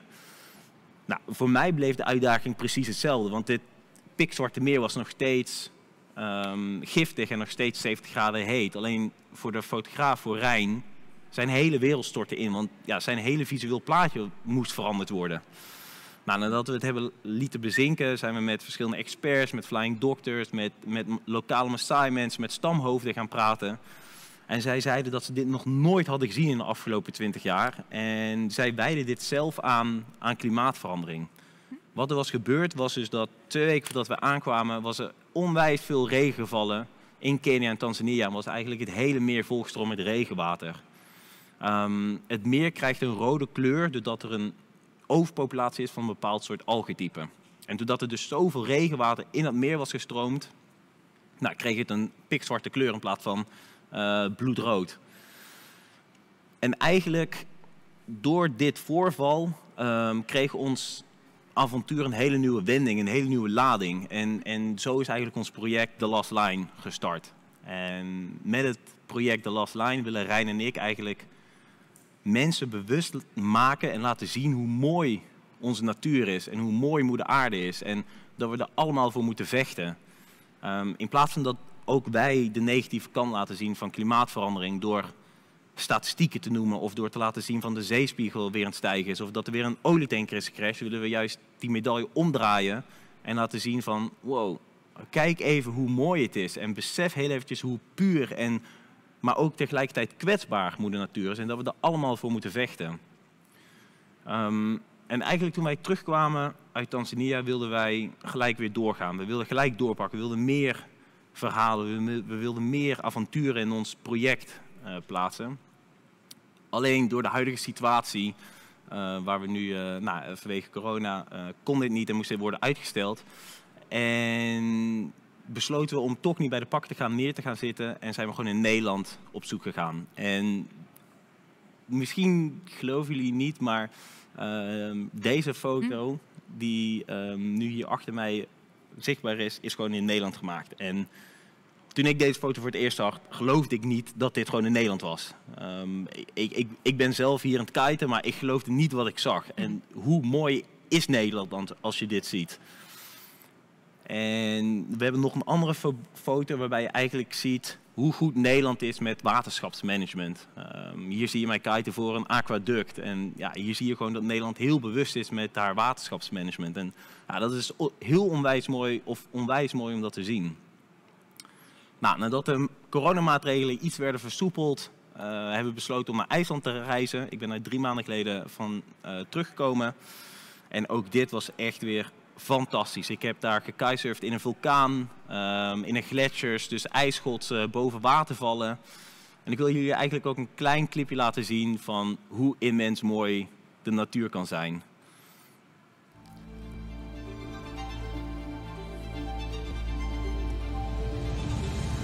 Het gaat meer dan alleen om het beeld zelf. Het gaat ook om het avontuur wat we beleven.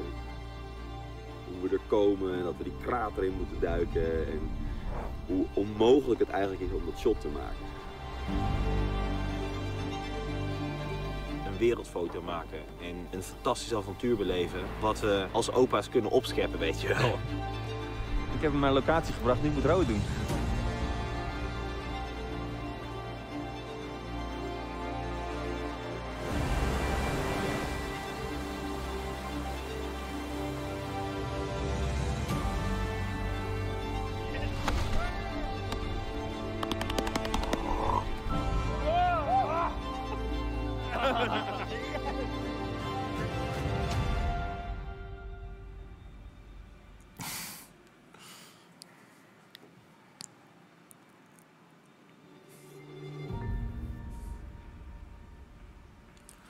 Onwijs tof. Elke keer als ik dit soort beelden zie, dan uh, ja, brengt je weer terug naar het hele avontuur. En eigenlijk werd IJsland uh, mede mogelijk gemaakt door Protest en door MyEnd. En uh, omdat dit zo'n groot succes was, legde eigenlijk de Protest de vraag bij ons neer van... Oké Ro, wat is je volgend avontuur? Nou, ik heb eigenlijk een hele stapel avonturen dat ik nog steeds wil beleven en dat ik nog steeds wil gaan doen. Dus ik stelde, een, uh, ik stelde iets voor en zij zeiden: Oké, dit gaan we doen, dit gaan we realiseren. Op één voorwaarde. En dat was uh, dat ik op een CO2-neutrale manier daar naartoe moest reizen. Nou, dat zou best wel een pittige uitdaging gaan worden. Um, zoals ik net zei, ben ik net terug uit Noorwegen. En dus ik ben op een CO2-neutrale manier naar de uh, Arctic, Arctic Circle gereisd in Noord-Noorwegen, de Lofoten. En het hele doel daarvan was eigenlijk om te proberen om als eerste kitesurfer onder het noorderlicht te kiten. Um, ik mag er nog niet heel erg veel over vertellen, want alle content ligt nog uh, bij de editors en bij de filmers. Maar ja, ik mag wel zeggen dat het een enorm succes was. Dus um, ik denk dat we allemaal onze eigen conclusies mogen trekken. En eigenlijk mijn hele doel met al deze avonturen en al, al mijn verhalen die ik wil vertellen, dat is eigenlijk om mensen bewust te maken van, kijk jongens, kijk hoe mooi ons ons planeetje is. Kijk hoe mooi moeder natuur is. En dat we er allemaal voor moeten, ja, dat we dat gewoon moeten bewaken met z'n allen. En tegenwoordig merk, ik, merk je gewoon dat een, bijvoorbeeld een dode walvis is meer waard dan een walvis die nog in de zee zwemt. Of een gekapte boom is meer geld waard dan een boom die nog in het bos staat. En wanneer gaan we nou eens beseffen van dat het allemaal niet nodig is. En dat we gewoon gaan genieten van nu en van het leven en van de natuur. En dat we niet steeds meer en meer willen. Rupsje nooit genoeg. Wanneer uh, heeft hij genoeg? En ik denk dat het belangrijkste is om te beseffen dat, dat we niet steeds de schuld moeten gaan leggen bij iemand anders, maar dat we de, moeten beseffen dat wij als kleine speler, als individu, onwijs veel kunnen doen. En dat we samen de vraag kunnen beïnvloeden. En dat dat een hele grote kettingreactie kan, teweeg kan brengen. Ik denk dat dat uh, heel erg belangrijk is. Mooi. ja, nou, Dankjewel, uh, Roderick. En ja. heel fijn dat jij je er zo voor inzet om zo'n kettingreactie uh, tot stand te brengen. Uh, ik ben heel benieuwd, Lisette, zijn er opmerkingen in de chat? Of, of hebben we iedereen achterover? Ik denk, iedereen en, en is helemaal flabbergasted. flabbergasted. Ja. Maar ja, ik heb wel gevraagd of misschien iemand een nieuw avontuur voor je weet. Dus. Waar die ook op een CO2-neutrale manier naartoe kan, kan reizen. Ja. Dankjewel, wat een, uh, wat een prachtige beelden. Ja, thanks. Ik ga even naar Sascha, we komen ja, zo. Hè? We gaan het ja, gesprek met z'n ja. drieën voeren. Maar uh, nou, het wordt ook tijd dat we Sascha gaan uh, introduceren. Sascha Stolp van gemeente Amsterdam. Hoi, welkom ook. Ja, dankjewel. Ja. Leuk om hier te zijn. Nou, fijn. En je bent er al de hele dag, geloof ik, hè? Maar ja, nu, nu nou ja, zo, zo gaat dat dan door. Er zijn veel gesprekken en dat is juist goed, denk ik. Precies. Want, nou hoop ik dat ik het goed zeg. Je bent volgens mij regisseur klimaatadaptatie en toekomstbestendige assets. Yes. Zeg ik het dan goed? Klopt, helemaal. Amsterdam. Ja. Kun je daar iets meer over vertellen wat je dan doet? En we hebben zo meteen ook een video. Hè? Ja. Dat mag heel kort. Ja. Nou ja, eigenlijk het ene is uh, hoe pakken we klimaatadaptatie aan en op. En die andere is eigenlijk van hoe zorgen we dat een historische deltastad dat ook daadwerkelijk gaat incorporeren. Dus hoe zorgen we dat het geen droom blijft, geen stip aan de horizon, maar dat we aldoende daar naartoe gaan groeien, dat wij een klimaatadaptieve stad worden en dat ook zo snel mogelijk gaan delen. Want klimaatadaptatie is een uitdaging voor ons allemaal. En dat is ontzettend leuk, want ja, uh, Roderick zei het net al, het gaat over waarde hebben. Mhm. ja, deze stad is mij gewoon ontzettend veel waard. En met mij gelukkig ook heel veel Amsterdammers. En dat betekent dus dat als wij een waardevolle stad willen blijven, dat we uh, klimaatadaptief moeten worden, ook op een waardevolle manier. Hoe, hoe gaan we dat doen? Laten we even kijken naar de korte video en dan gaan we verder praten.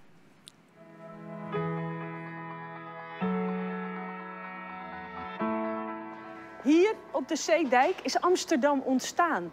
En als we het dus hebben over een nieuwe visie voor Amsterdam, dan gaan we uit van de stad die er al is.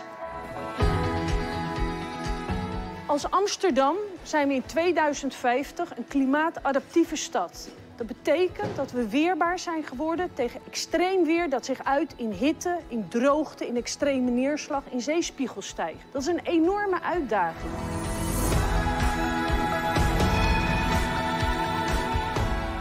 Gaan we dat doen? Dat doen we met alle Amsterdammers. En op iedere plek in Amsterdam zal dat anders zijn. Hier op de Zeedijk, met alle ondernemers en de horeca, zullen we zoeken naar andere oplossingen dan de mensen die bijvoorbeeld op Eiburg wonen.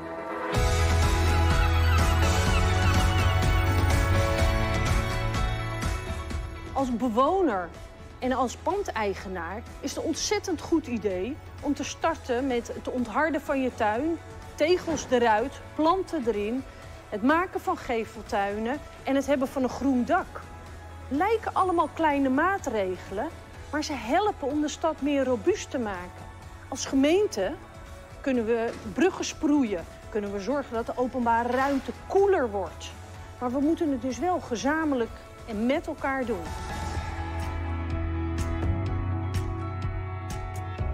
Beter bestand te zijn tegen extreme neerslag, zullen we water vaker op locatie moeten opslaan.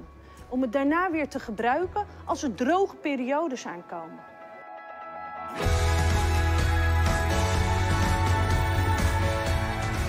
Weerbaar worden tegen klimaatverandering is een gezamenlijke ontdekkingsreis. Met inwoners, met kennisinstellingen, met bedrijfsleven gaan we werken aan het vinden van nieuwe oplossingen. Oplossingen die werken voor de Zeedijk, maar ook voor de straat waar jij woont.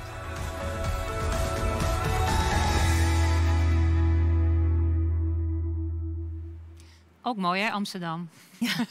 toch? Het blijft toch ook een hele mooie stad. Precies. Ja. Die moeten we mooi houden. Ja, precies. En, en vertel eens, wat voor oplossingen zijn er bijvoorbeeld al voor? Uh, Nou ja, we zijn op dit moment heel erg aan het experimenteren. Wat net al voorbij kwam, hoe houden we dus water vast? Hoe zorgen we dat water een waardevolle bron wordt die we niet weggooien? Hè? Zo snel mogelijk vuil maken, in het riool stoppen en dan vervolgens weggooien en weer dumpen. Mm -hmm.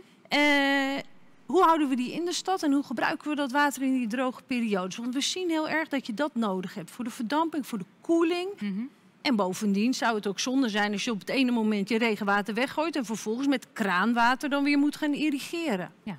Dus dat is, hoe, hoe draaien we dat paradigma om? Hè? Mm -hmm. En wat ik heel leuk vind uit het verhaal van Roderick, ja. dan moet je starten met doen. Want je loopt op iedere pilot loop je tegen onverwachte ontwikkelingen aan. Maar juist omdat je gestart bent en het ook daadwerkelijk bent gaan doen, ga je op dat moment eigenlijk fine-tunen. Eigenlijk ook in de Kromme Meidrechtstraat, wat we net gezien hebben. Precies, wat in ja. de Kromme Meidrechtstraat gebeurt. Maar wat wij ook al hebben ontdekt, zeg maar, met het maken van groene daken en dan vooral blauw-groene daken. Je loopt altijd tegen duizend en één problemen aan. Maar juist door te gaan doen, dan blijft het geen droom. En dan ga je dus samen met ja, ook kennisinstellingen, maar ook met bewoners gewoon ter plekke die oplossing creëren.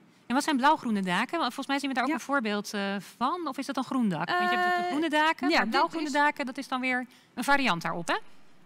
Ja, het is een variant erop. Eigenlijk zeg je met een blauw-groen dak, is ik vang ook het hemelwater op en ik gebruik dat opnieuw. Dus ter plaatse. Dus het is niet zo van het water komt het dak op en het, uh, we stoppen het in het riool en weg. Maar we houden dat water op locatie vast en we gebruiken dat, hè, zoals hier op het Smart Roof, om weer het dak opnieuw te irrigeren. Nou, wat je dan ziet, is dat je echt een enorme explosie aan biodiversiteit krijgt. Omdat die planten ook in die droge periode daadwerkelijk toegang hebben tot dat water. Dus je ziet eigenlijk dat je dat heel slim kan opdraaien. En dat je dus met water in groen samen, want uiteindelijk ja, als groen ook uitdroogt, is het ook maar uitgedroogd groen en doet het niet meer zoveel. Eh, veel meer biodiversiteit en veel meer waarde voor de stad kan creëren. Onder meer koeling. Want een blauw-groen dak, dat weten we inmiddels wel, blijft zo'n 30 graden koeler in de zon dan een, eh, een gewoon... 30 graden? Ja, dan een zwart bitumen dak. Oké, echt waar? Ja, dat is echt gigantisch. Daar, schrik ik, ja. daar sta ik echt van te kijken, inderdaad. Ja. Ongelooflijk, ja. ja.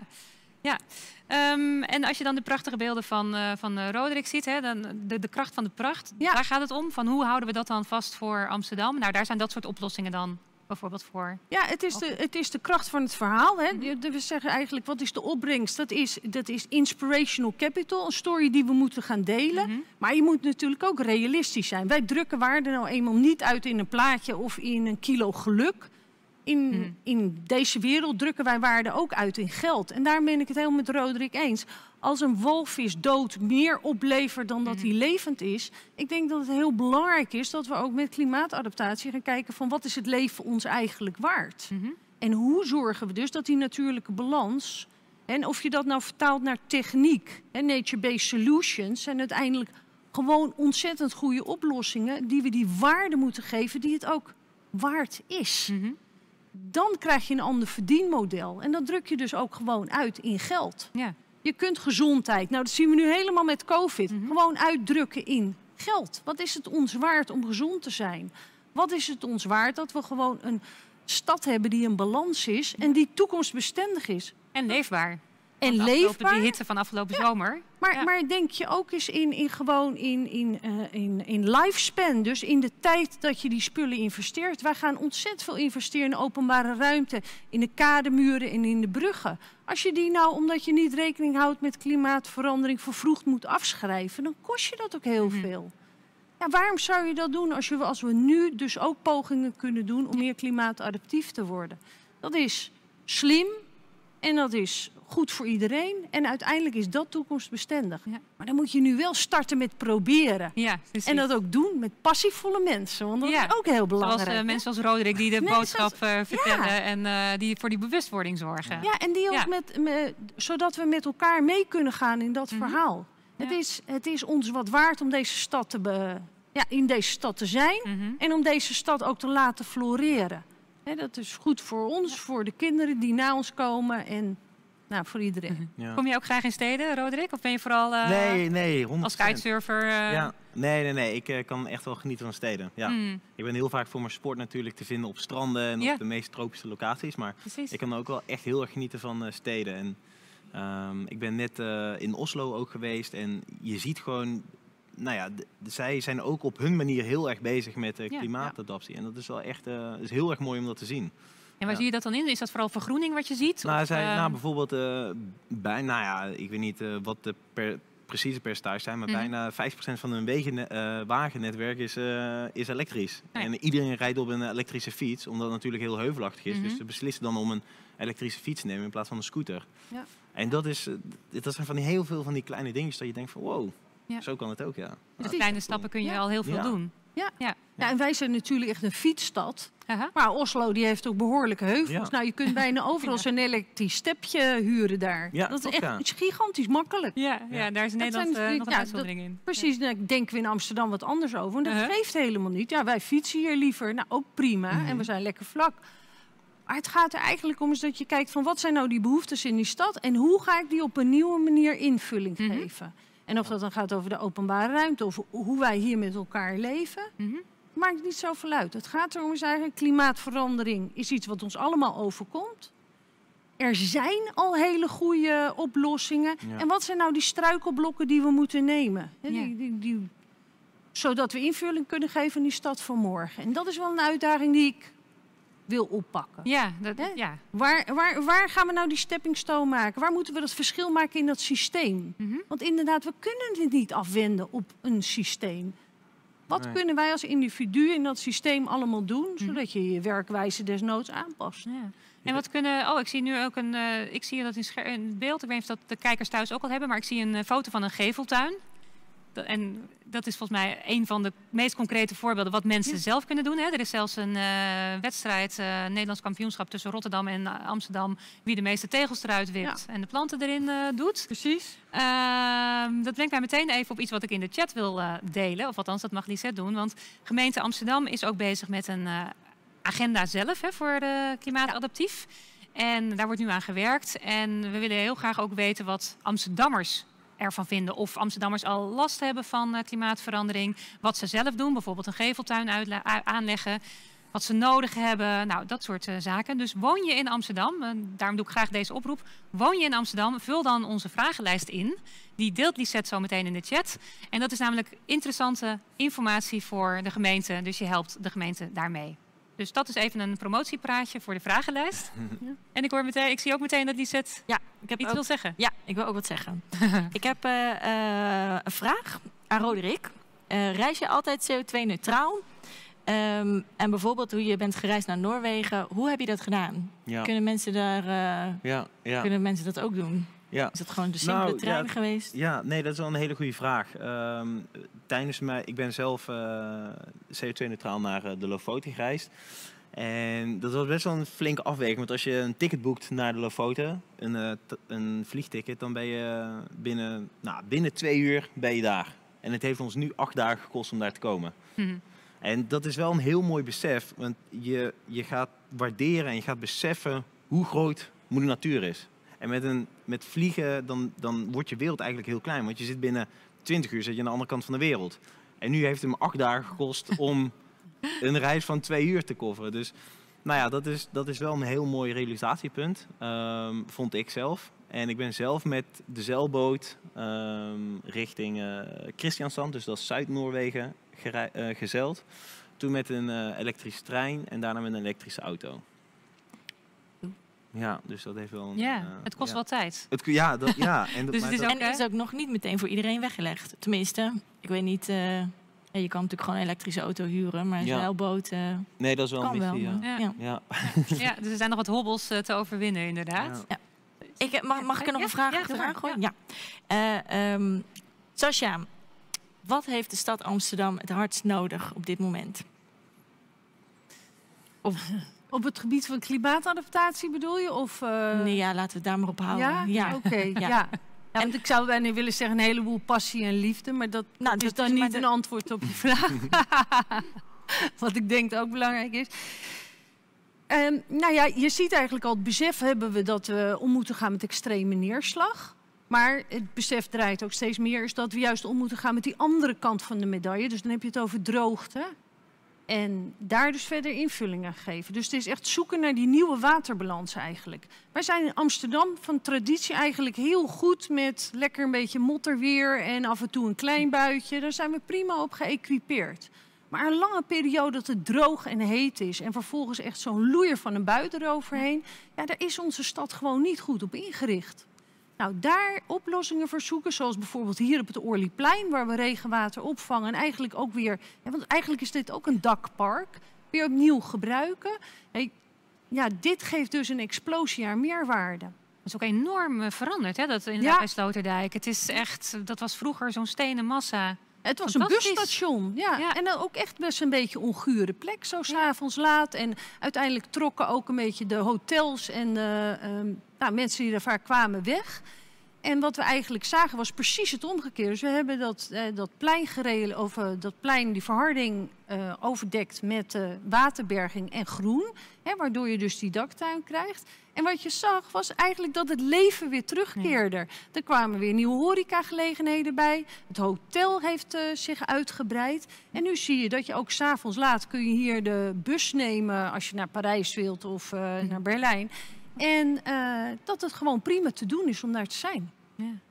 En dit is openbare ruimte. Dit is, ja. dit is eigendom gemeente Amsterdam. Maar in gemeente Amsterdam is een heel groot percentage van de ruimte is privébezit. hè? Van woningeigenaren, van corporaties, van vastgoedeigenaren. Of alles Wel als je het hebt over de, de bebouwde ruimte. Maar de openbare ruimte is echt wel grote mate van Amsterdam eh, zelf. Ehm, maar ja, inderdaad, je, moet, je kunt dit ook niet alleen oplossen. Precies. Je moet dat doen met die andere stakeholders. Ja. ja. Dus zijn jullie daar dan ook over in gesprek met corporaties, Ja. eh, met vastgoedeigenaren? Ja, voor de uitvoeringsagenda kijken we eigenlijk de, naar de belangrijkste stakeholders die er zijn in de stad. En die ook, maar ja, dat is met ruimtelijk perspectief. hè? Uiteindelijk gaat het inderdaad ook om iedereen die hier woont, die een steentje wil bijdragen. Ja, die kan helpen om klimaatadaptief te worden. Ja, dus in die is, eh, zin het is heel breed. En het ligt niet bij de gemeente alleen. Maar het is ook de mindset samen van eh, individuen, is het niet? Dat het de mindset van individuen is die dat individuen dat moeten Ja, beseffen. absoluut. Ja. Ja, en ik denk ook daarin het verhaal goed gaan delen. Hè? Want Mhm. je ziet al heel veel op individueel niveau hele goede initiatieven. Ehm, eh, je hebt ontzettend mooie waterbergende tuinen. Eh, we hebben daktuinen bij heel erg veel mensen. Maar ook het verhaal weer opnieuw vertellen van die tuinen die binnen de grachtengordel liggen. Zijn gewoon ontzettend mooie voorbeelden. Ja. En ehm, nou, door samen dat verhaal neer te leggen, kunnen we het ook weer groter maken. En het werkt aanstekelijk. Hè? Je had het net natuurlijk ook over een eh, sneeuwbaleffect. Of, eh, maar dat werkt ook als je ergens meer groen ziet in de straat. Dan denk je, oh, dat kan ik ook wel eh, bij mij voor de deur gaan doen misschien. Precies. Als je in die omstandigheden bent eh, dat het jou, jouw stukje grond is. Ja. Ja, en anders gaat er in overleg. Hè. Wij gaan nu bijvoorbeeld een van de crisisherstelmaatregelen is dat we op 100 plekken in Amsterdam groen gaan creëren. Nou, de more the merrier. Ja. Hè, daar waar het kan, moeten we het doen. Natuurlijk hebben we ook meer functies. We moeten hem goed bereikbaar houden, die stad. Want je wil ook niet dat mensen die slechte been zijn... eh, eh, gewoon niet meer kunnen, zich kunnen voortbewegen in deze stad. En bovendien, we willen kunnen fietsen. We willen, eh, er moeten trams kunnen rijden. We willen bevoorraad worden. Ja. Maar daarnaast kunnen we ook weer veel meer groen creëren. Maar er zijn vaak ook mooie combinaties mogelijk. Zoals de tram die nu rijdt over groen. Dat geeft ook zo'n ander beeld. En het is natuurlijk goed voor de waterberging. Precies. Kan ik me voorstellen. En dat was een aantal jaar geleden, zag je dat natuurlijk helemaal niet. En dat, eh, dat vind ik ook wel mooie voorbeelden van hoe Amsterdam klimaatadaptief aan het worden is. Ja.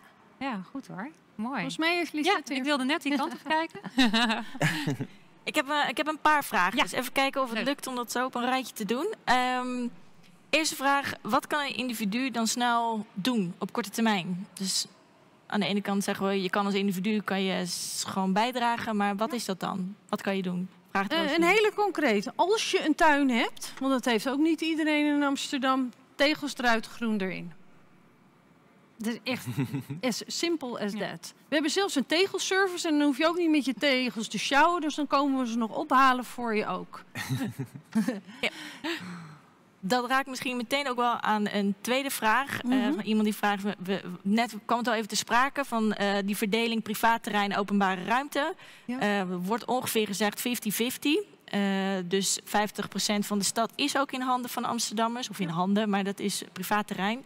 Vanuit de gemeente is daar ook de focus op, op het private terrein? Of gaat het echt om de openbare ruimte? Ehm, nou, vanuit toekomstbestendige assets kijken we vanuit wat wij zelf als gemeente kunnen doen en dus als inkoper. Vanuit het programma Klimaatadaptatie kijken we naar iedereen in de hele stad. Ja, want dat klimaatadaptief worden, dat doe je met elkaar.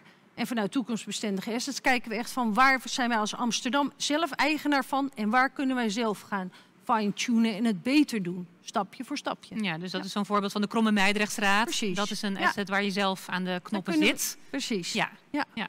Dus waar zitten wij zelf? Waar gaan wij zelf inderdaad aan die knoppen draaien? Mhm. En waar kunnen we anderen helpen? En merk je een groeiend eh, besef in Amsterdam? Ja. Ja? Ja. Ja, we zien ook echt wel eh, gewoon heel veel meer betrokkenheid. Mensen die ons ook bellen.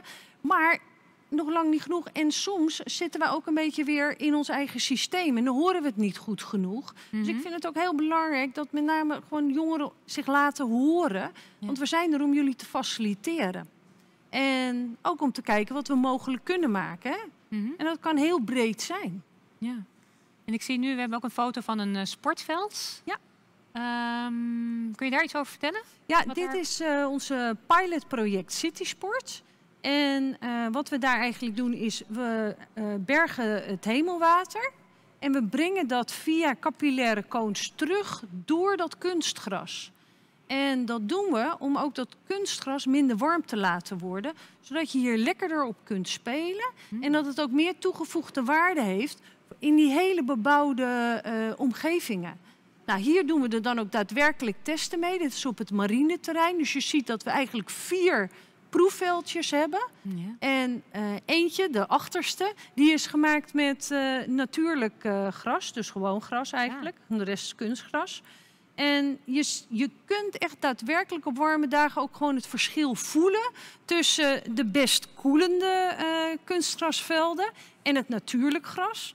En eh, de wat minder goed presterende velden. En dat is echt dat is heel leuk. Maar het best presterende kunstgrasveld wordt maar 1 graad warmer dan gewoon gras. Oh, oké. En denk je misschien, ja, waarom doe je dan niet in die hele stad gewoon gras? Hè? Want dat is dan toch prettiger en eh, geeft ook minder afval.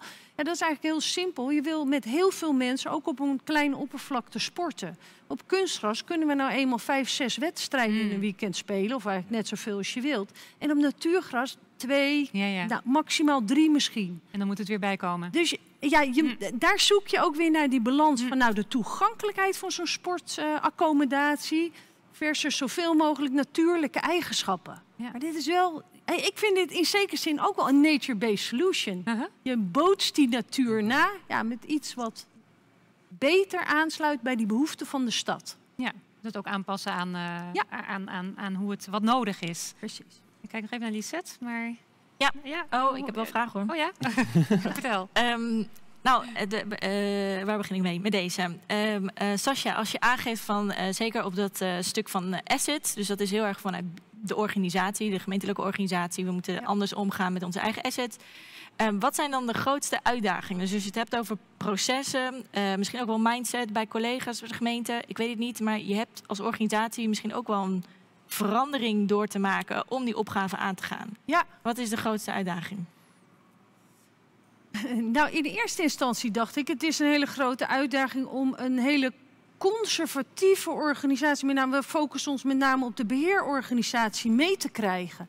Ik was eigenlijk heel positief verrast dat als je in gesprek gaat met beheerders, en of dat nou over gaat over de beheerders van het sportveld of de openbare ruimte, is dat zij heel zorgzaam zijn voor de spulletjes die zij beheren. En dat het dus eigenlijk ook heel natuurlijk is dat als omstandigheden veranderen, dat zij heel graag willen meebewegen om die spulletjes goed te houden. En, eh, dus, en daar moet je overigens wel het gesprek op, het, op de juiste toon mee omgaan. Ook daar moet je even het vlammetje aanwakkeren. Maar dan zie je dat er ontzettend veel kan. Ehm, ja, kijk, laten we eerlijk zijn. De processen zijn gewoon nog niet optimaal ingericht. Hè? Net, net wat Roderick zei, wij geven nog niet overal de juiste waarde aan. Heel vaak is het toch zo dat we projecten heel graag willen doen voor binnen een scope van tijd en geld. En niet op eh, basis van het eh, resultaat wat het oplevert voor de stad. Eh, voor als je het hebt over klimaatadaptatie bijvoorbeeld. Nou, daar moeten we echt nog wel stappen in zetten. En ik denk ook echt wel dat dat gewoon een van de grote doorbraken gaat zijn. Is als we een, een financieel model kunnen gaan ontwikkelen. Wat ook in kaart brengt wat de kansen en de risico's zijn. eh, eh, voor meer klimaatadaptieve maatregelen. Ja. Maar En komt dat- het ook niet doordat er verkeerde prioriteiten worden? Of, of niet verkeerd wil ik niet noemen, maar andere prioriteiten gesteld moeten worden misschien?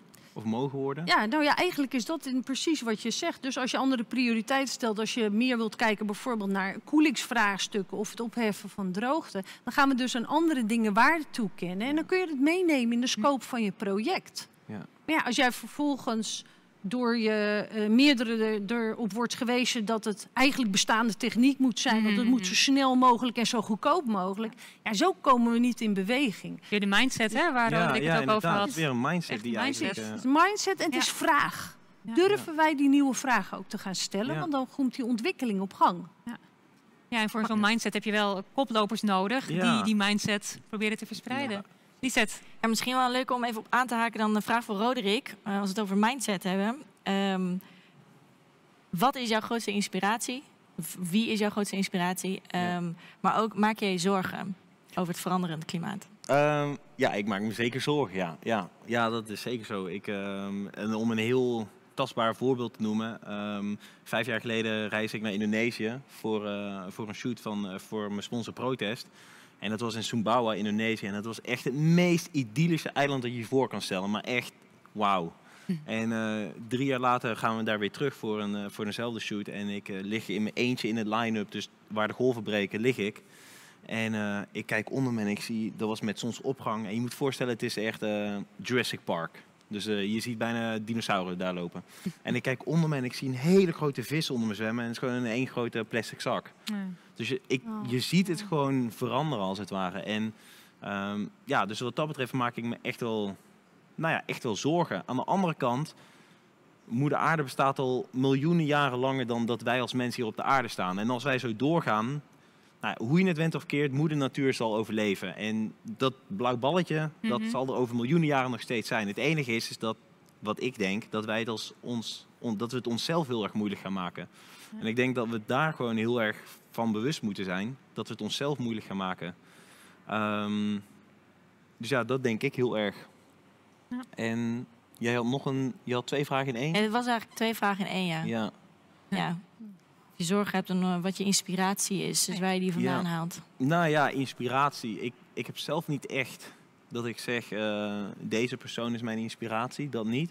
Maar ik, eh, ik word wel heel erg geïnspireerd door mensen die keuzes durven te maken. Die gewoon die, die, dat buiten het gemiddelde ligt van, van wat de maatschappij verwacht. Dat zijn altijd wel mensen of, of organisaties of, of wat dan ook die mij inspireren. Ja. Dus die echt een keuze durven te maken waar zij achter staan. En niet omdat ze denken dat de maatschappij dat van hun verwacht. Dat zijn wel een beetje inspiratiebronnen. Mensen die hun nek uitsteken. Ja. En moeder aarde zelf eh, Ja. hebben we natuurlijk Ja. ook al eh, gehoord van je. hè? Ja. Zou jij in zo'n meer eh, gaan, gaan kiten trouwens? Zo'n eh, vergiftigd eh, meer wat, eh, wat hij heeft gedaan? Nou, dat vind ik echt wel heel erg Over nek uitsteken. Ja, ik, ik zat me ook even te bedenken van... hmm, als mijn dochter dit nou aan mij zou vragen... dan zou ik op een zwaar... dan zou ik misschien wel hetzelfde hebben gezegd als een Roderick's moeder. Wat ik dus eigenlijk zelden zeg als ik ga werken. Want dan vind ik dus dat we het gewoon wel moeten gaan proberen. Gelukkig eh, zijn we nog niet zo eh, vervuild dan in Amsterdam... dat eh, als je neervalt dat het meteen zoutzuur is... en dat je huid ervan oplost. Dus nou ja, ik zou eigenlijk willen zeggen... laten we gewoon in Amsterdam dan heel veel gaan proberen... experimenteren en zorgen dat we de vaart der volkeren erin krijgen. En... ehm, dan laten we Roderick lekker surfen op een zwaar vervuilde Die mag, meer. die mag dan de enge dingen doen. En, eh, wij eh, kijken dan belangstellend eh, naar de beelden met heel veel bewondering. ja. dat, lijkt mij, dat, is, ja, dat lijkt mij ook veiliger. We zijn bijna aan het einde gekomen. Wat jammer, want volgens mij hadden we nog heel lang wel door kunnen praten. Maar ik heb aan jullie allebei nog wel een, een vraag. Want eh, eh, 25 en 26 januari vindt de internationale ehm, Climate Adaptation Summit plaats. Eh, daar hebben we het al eerder ook al over gehad. En er wordt dus nu gewerkt aan een actieagenda van wat moet er nou gebeuren op deze wereld om ons voor te bereiden op klimaat, de gevolgen van klimaatverandering. Dus Ja. om die, die eh, veranderende weersomstandigheden, et cetera. En het voorbeeld wat jij liet zien bijvoorbeeld. Daar wordt nu aan geschreven en ik ben heel benieuwd eh, van jullie allebei in ongeveer één zin van wat jij wil meegeven aan de mensen die dat nu aan het opstellen zijn, die agenda. En ik begin bij jou, Roderick. Oeh. Ja. Maar eigenlijk waar het hele gesprek over is gegaan. Ik denk dat er de juiste prioriteiten gesteld moeten worden. En om de juiste prioriteiten te kunnen stellen als individu, moet je de juiste mindset hebben. Dus ik denk dat het gewoon bij mindset en bij het besef begint van jezelf. En niet de schuld bij grote instanties of bij anderen neerleggen. Mooi. Ja. ja, het wordt natuurlijk wel heel gaaf. Want Ban Ki-moon en Bill Gates gaan, moeten die vraag, of tenminste, die gaan die vraag voor ons verder brengen. Ik denk dat we een hele grote uitdaging hebben en dat er echt al woest aantrekkelijke oplossingen zijn. Maar we hebben een aantal doorbraken nodig om dat ook daadwerkelijk mee te nemen in die ontwikkeling van steden. Niet alleen bij ons, maar ook voor al die mensen die in wereldwijd in steden wonen. Nou, hoe gaan we die op, eh, doorbraken met elkaar forceren? En hoe zou die high commissioners daarbij kunnen helpen? En dat we dan gewoon met elkaar die stappen zetten om langzaam te gaan naar die waardevolle stad. Want dat is natuurlijk wel de natuurlijke habitat voor mensen. Waar we lekker kunnen wonen, werken, zorgen, leren, recreëren. En die uiteindelijk woest aantrekkelijk is. Mooi, woest aantrekkelijk eh, Amsterdam en de hele wereld en moeder aarde. Dankjewel uh, Sascha, dankjewel uh, Roderick. Heel veel avonturen nog. Ik zie toch nog een prangende vraag, denk nou, ik, bij het is geen set. vraag, maar even de Ah. suggestie. Ga je een keer de Amazon eh, surfen? Ja, die staat wel op het eh, lijstje. Goeie. Nou, we gaan je volgen, Roderick. Want ik ben wel heel benieuwd naar inderdaad jouw volgende avonturen allemaal. Uh, dus dank aan jullie, maar ook uh, namens gemeente Amsterdam en het ministerie uh, dank aan alle kijkers thuis. Leuk dat jullie er waren. Ook heel fijn dat jullie zo actief hebben meegedaan in de chat. Want Lisette is er helemaal druk mee geweest. Dus dank daarvoor. Um, vul nog even die vragenlijst in als je in Amsterdam woont, want dat helpt de gemeente om weer plannen te maken. En uh, nou, dit was de laatste sessie van vandaag in het kader van de Road to CAS, de Road to the Climate Adaptation Summit. Dus vanaf nu hou de Climate Adaptation Summit in de gaten en dat kan via de URL die in beeld komt, uh, cas2021.com. Dank jullie wel en een hele fijne avond.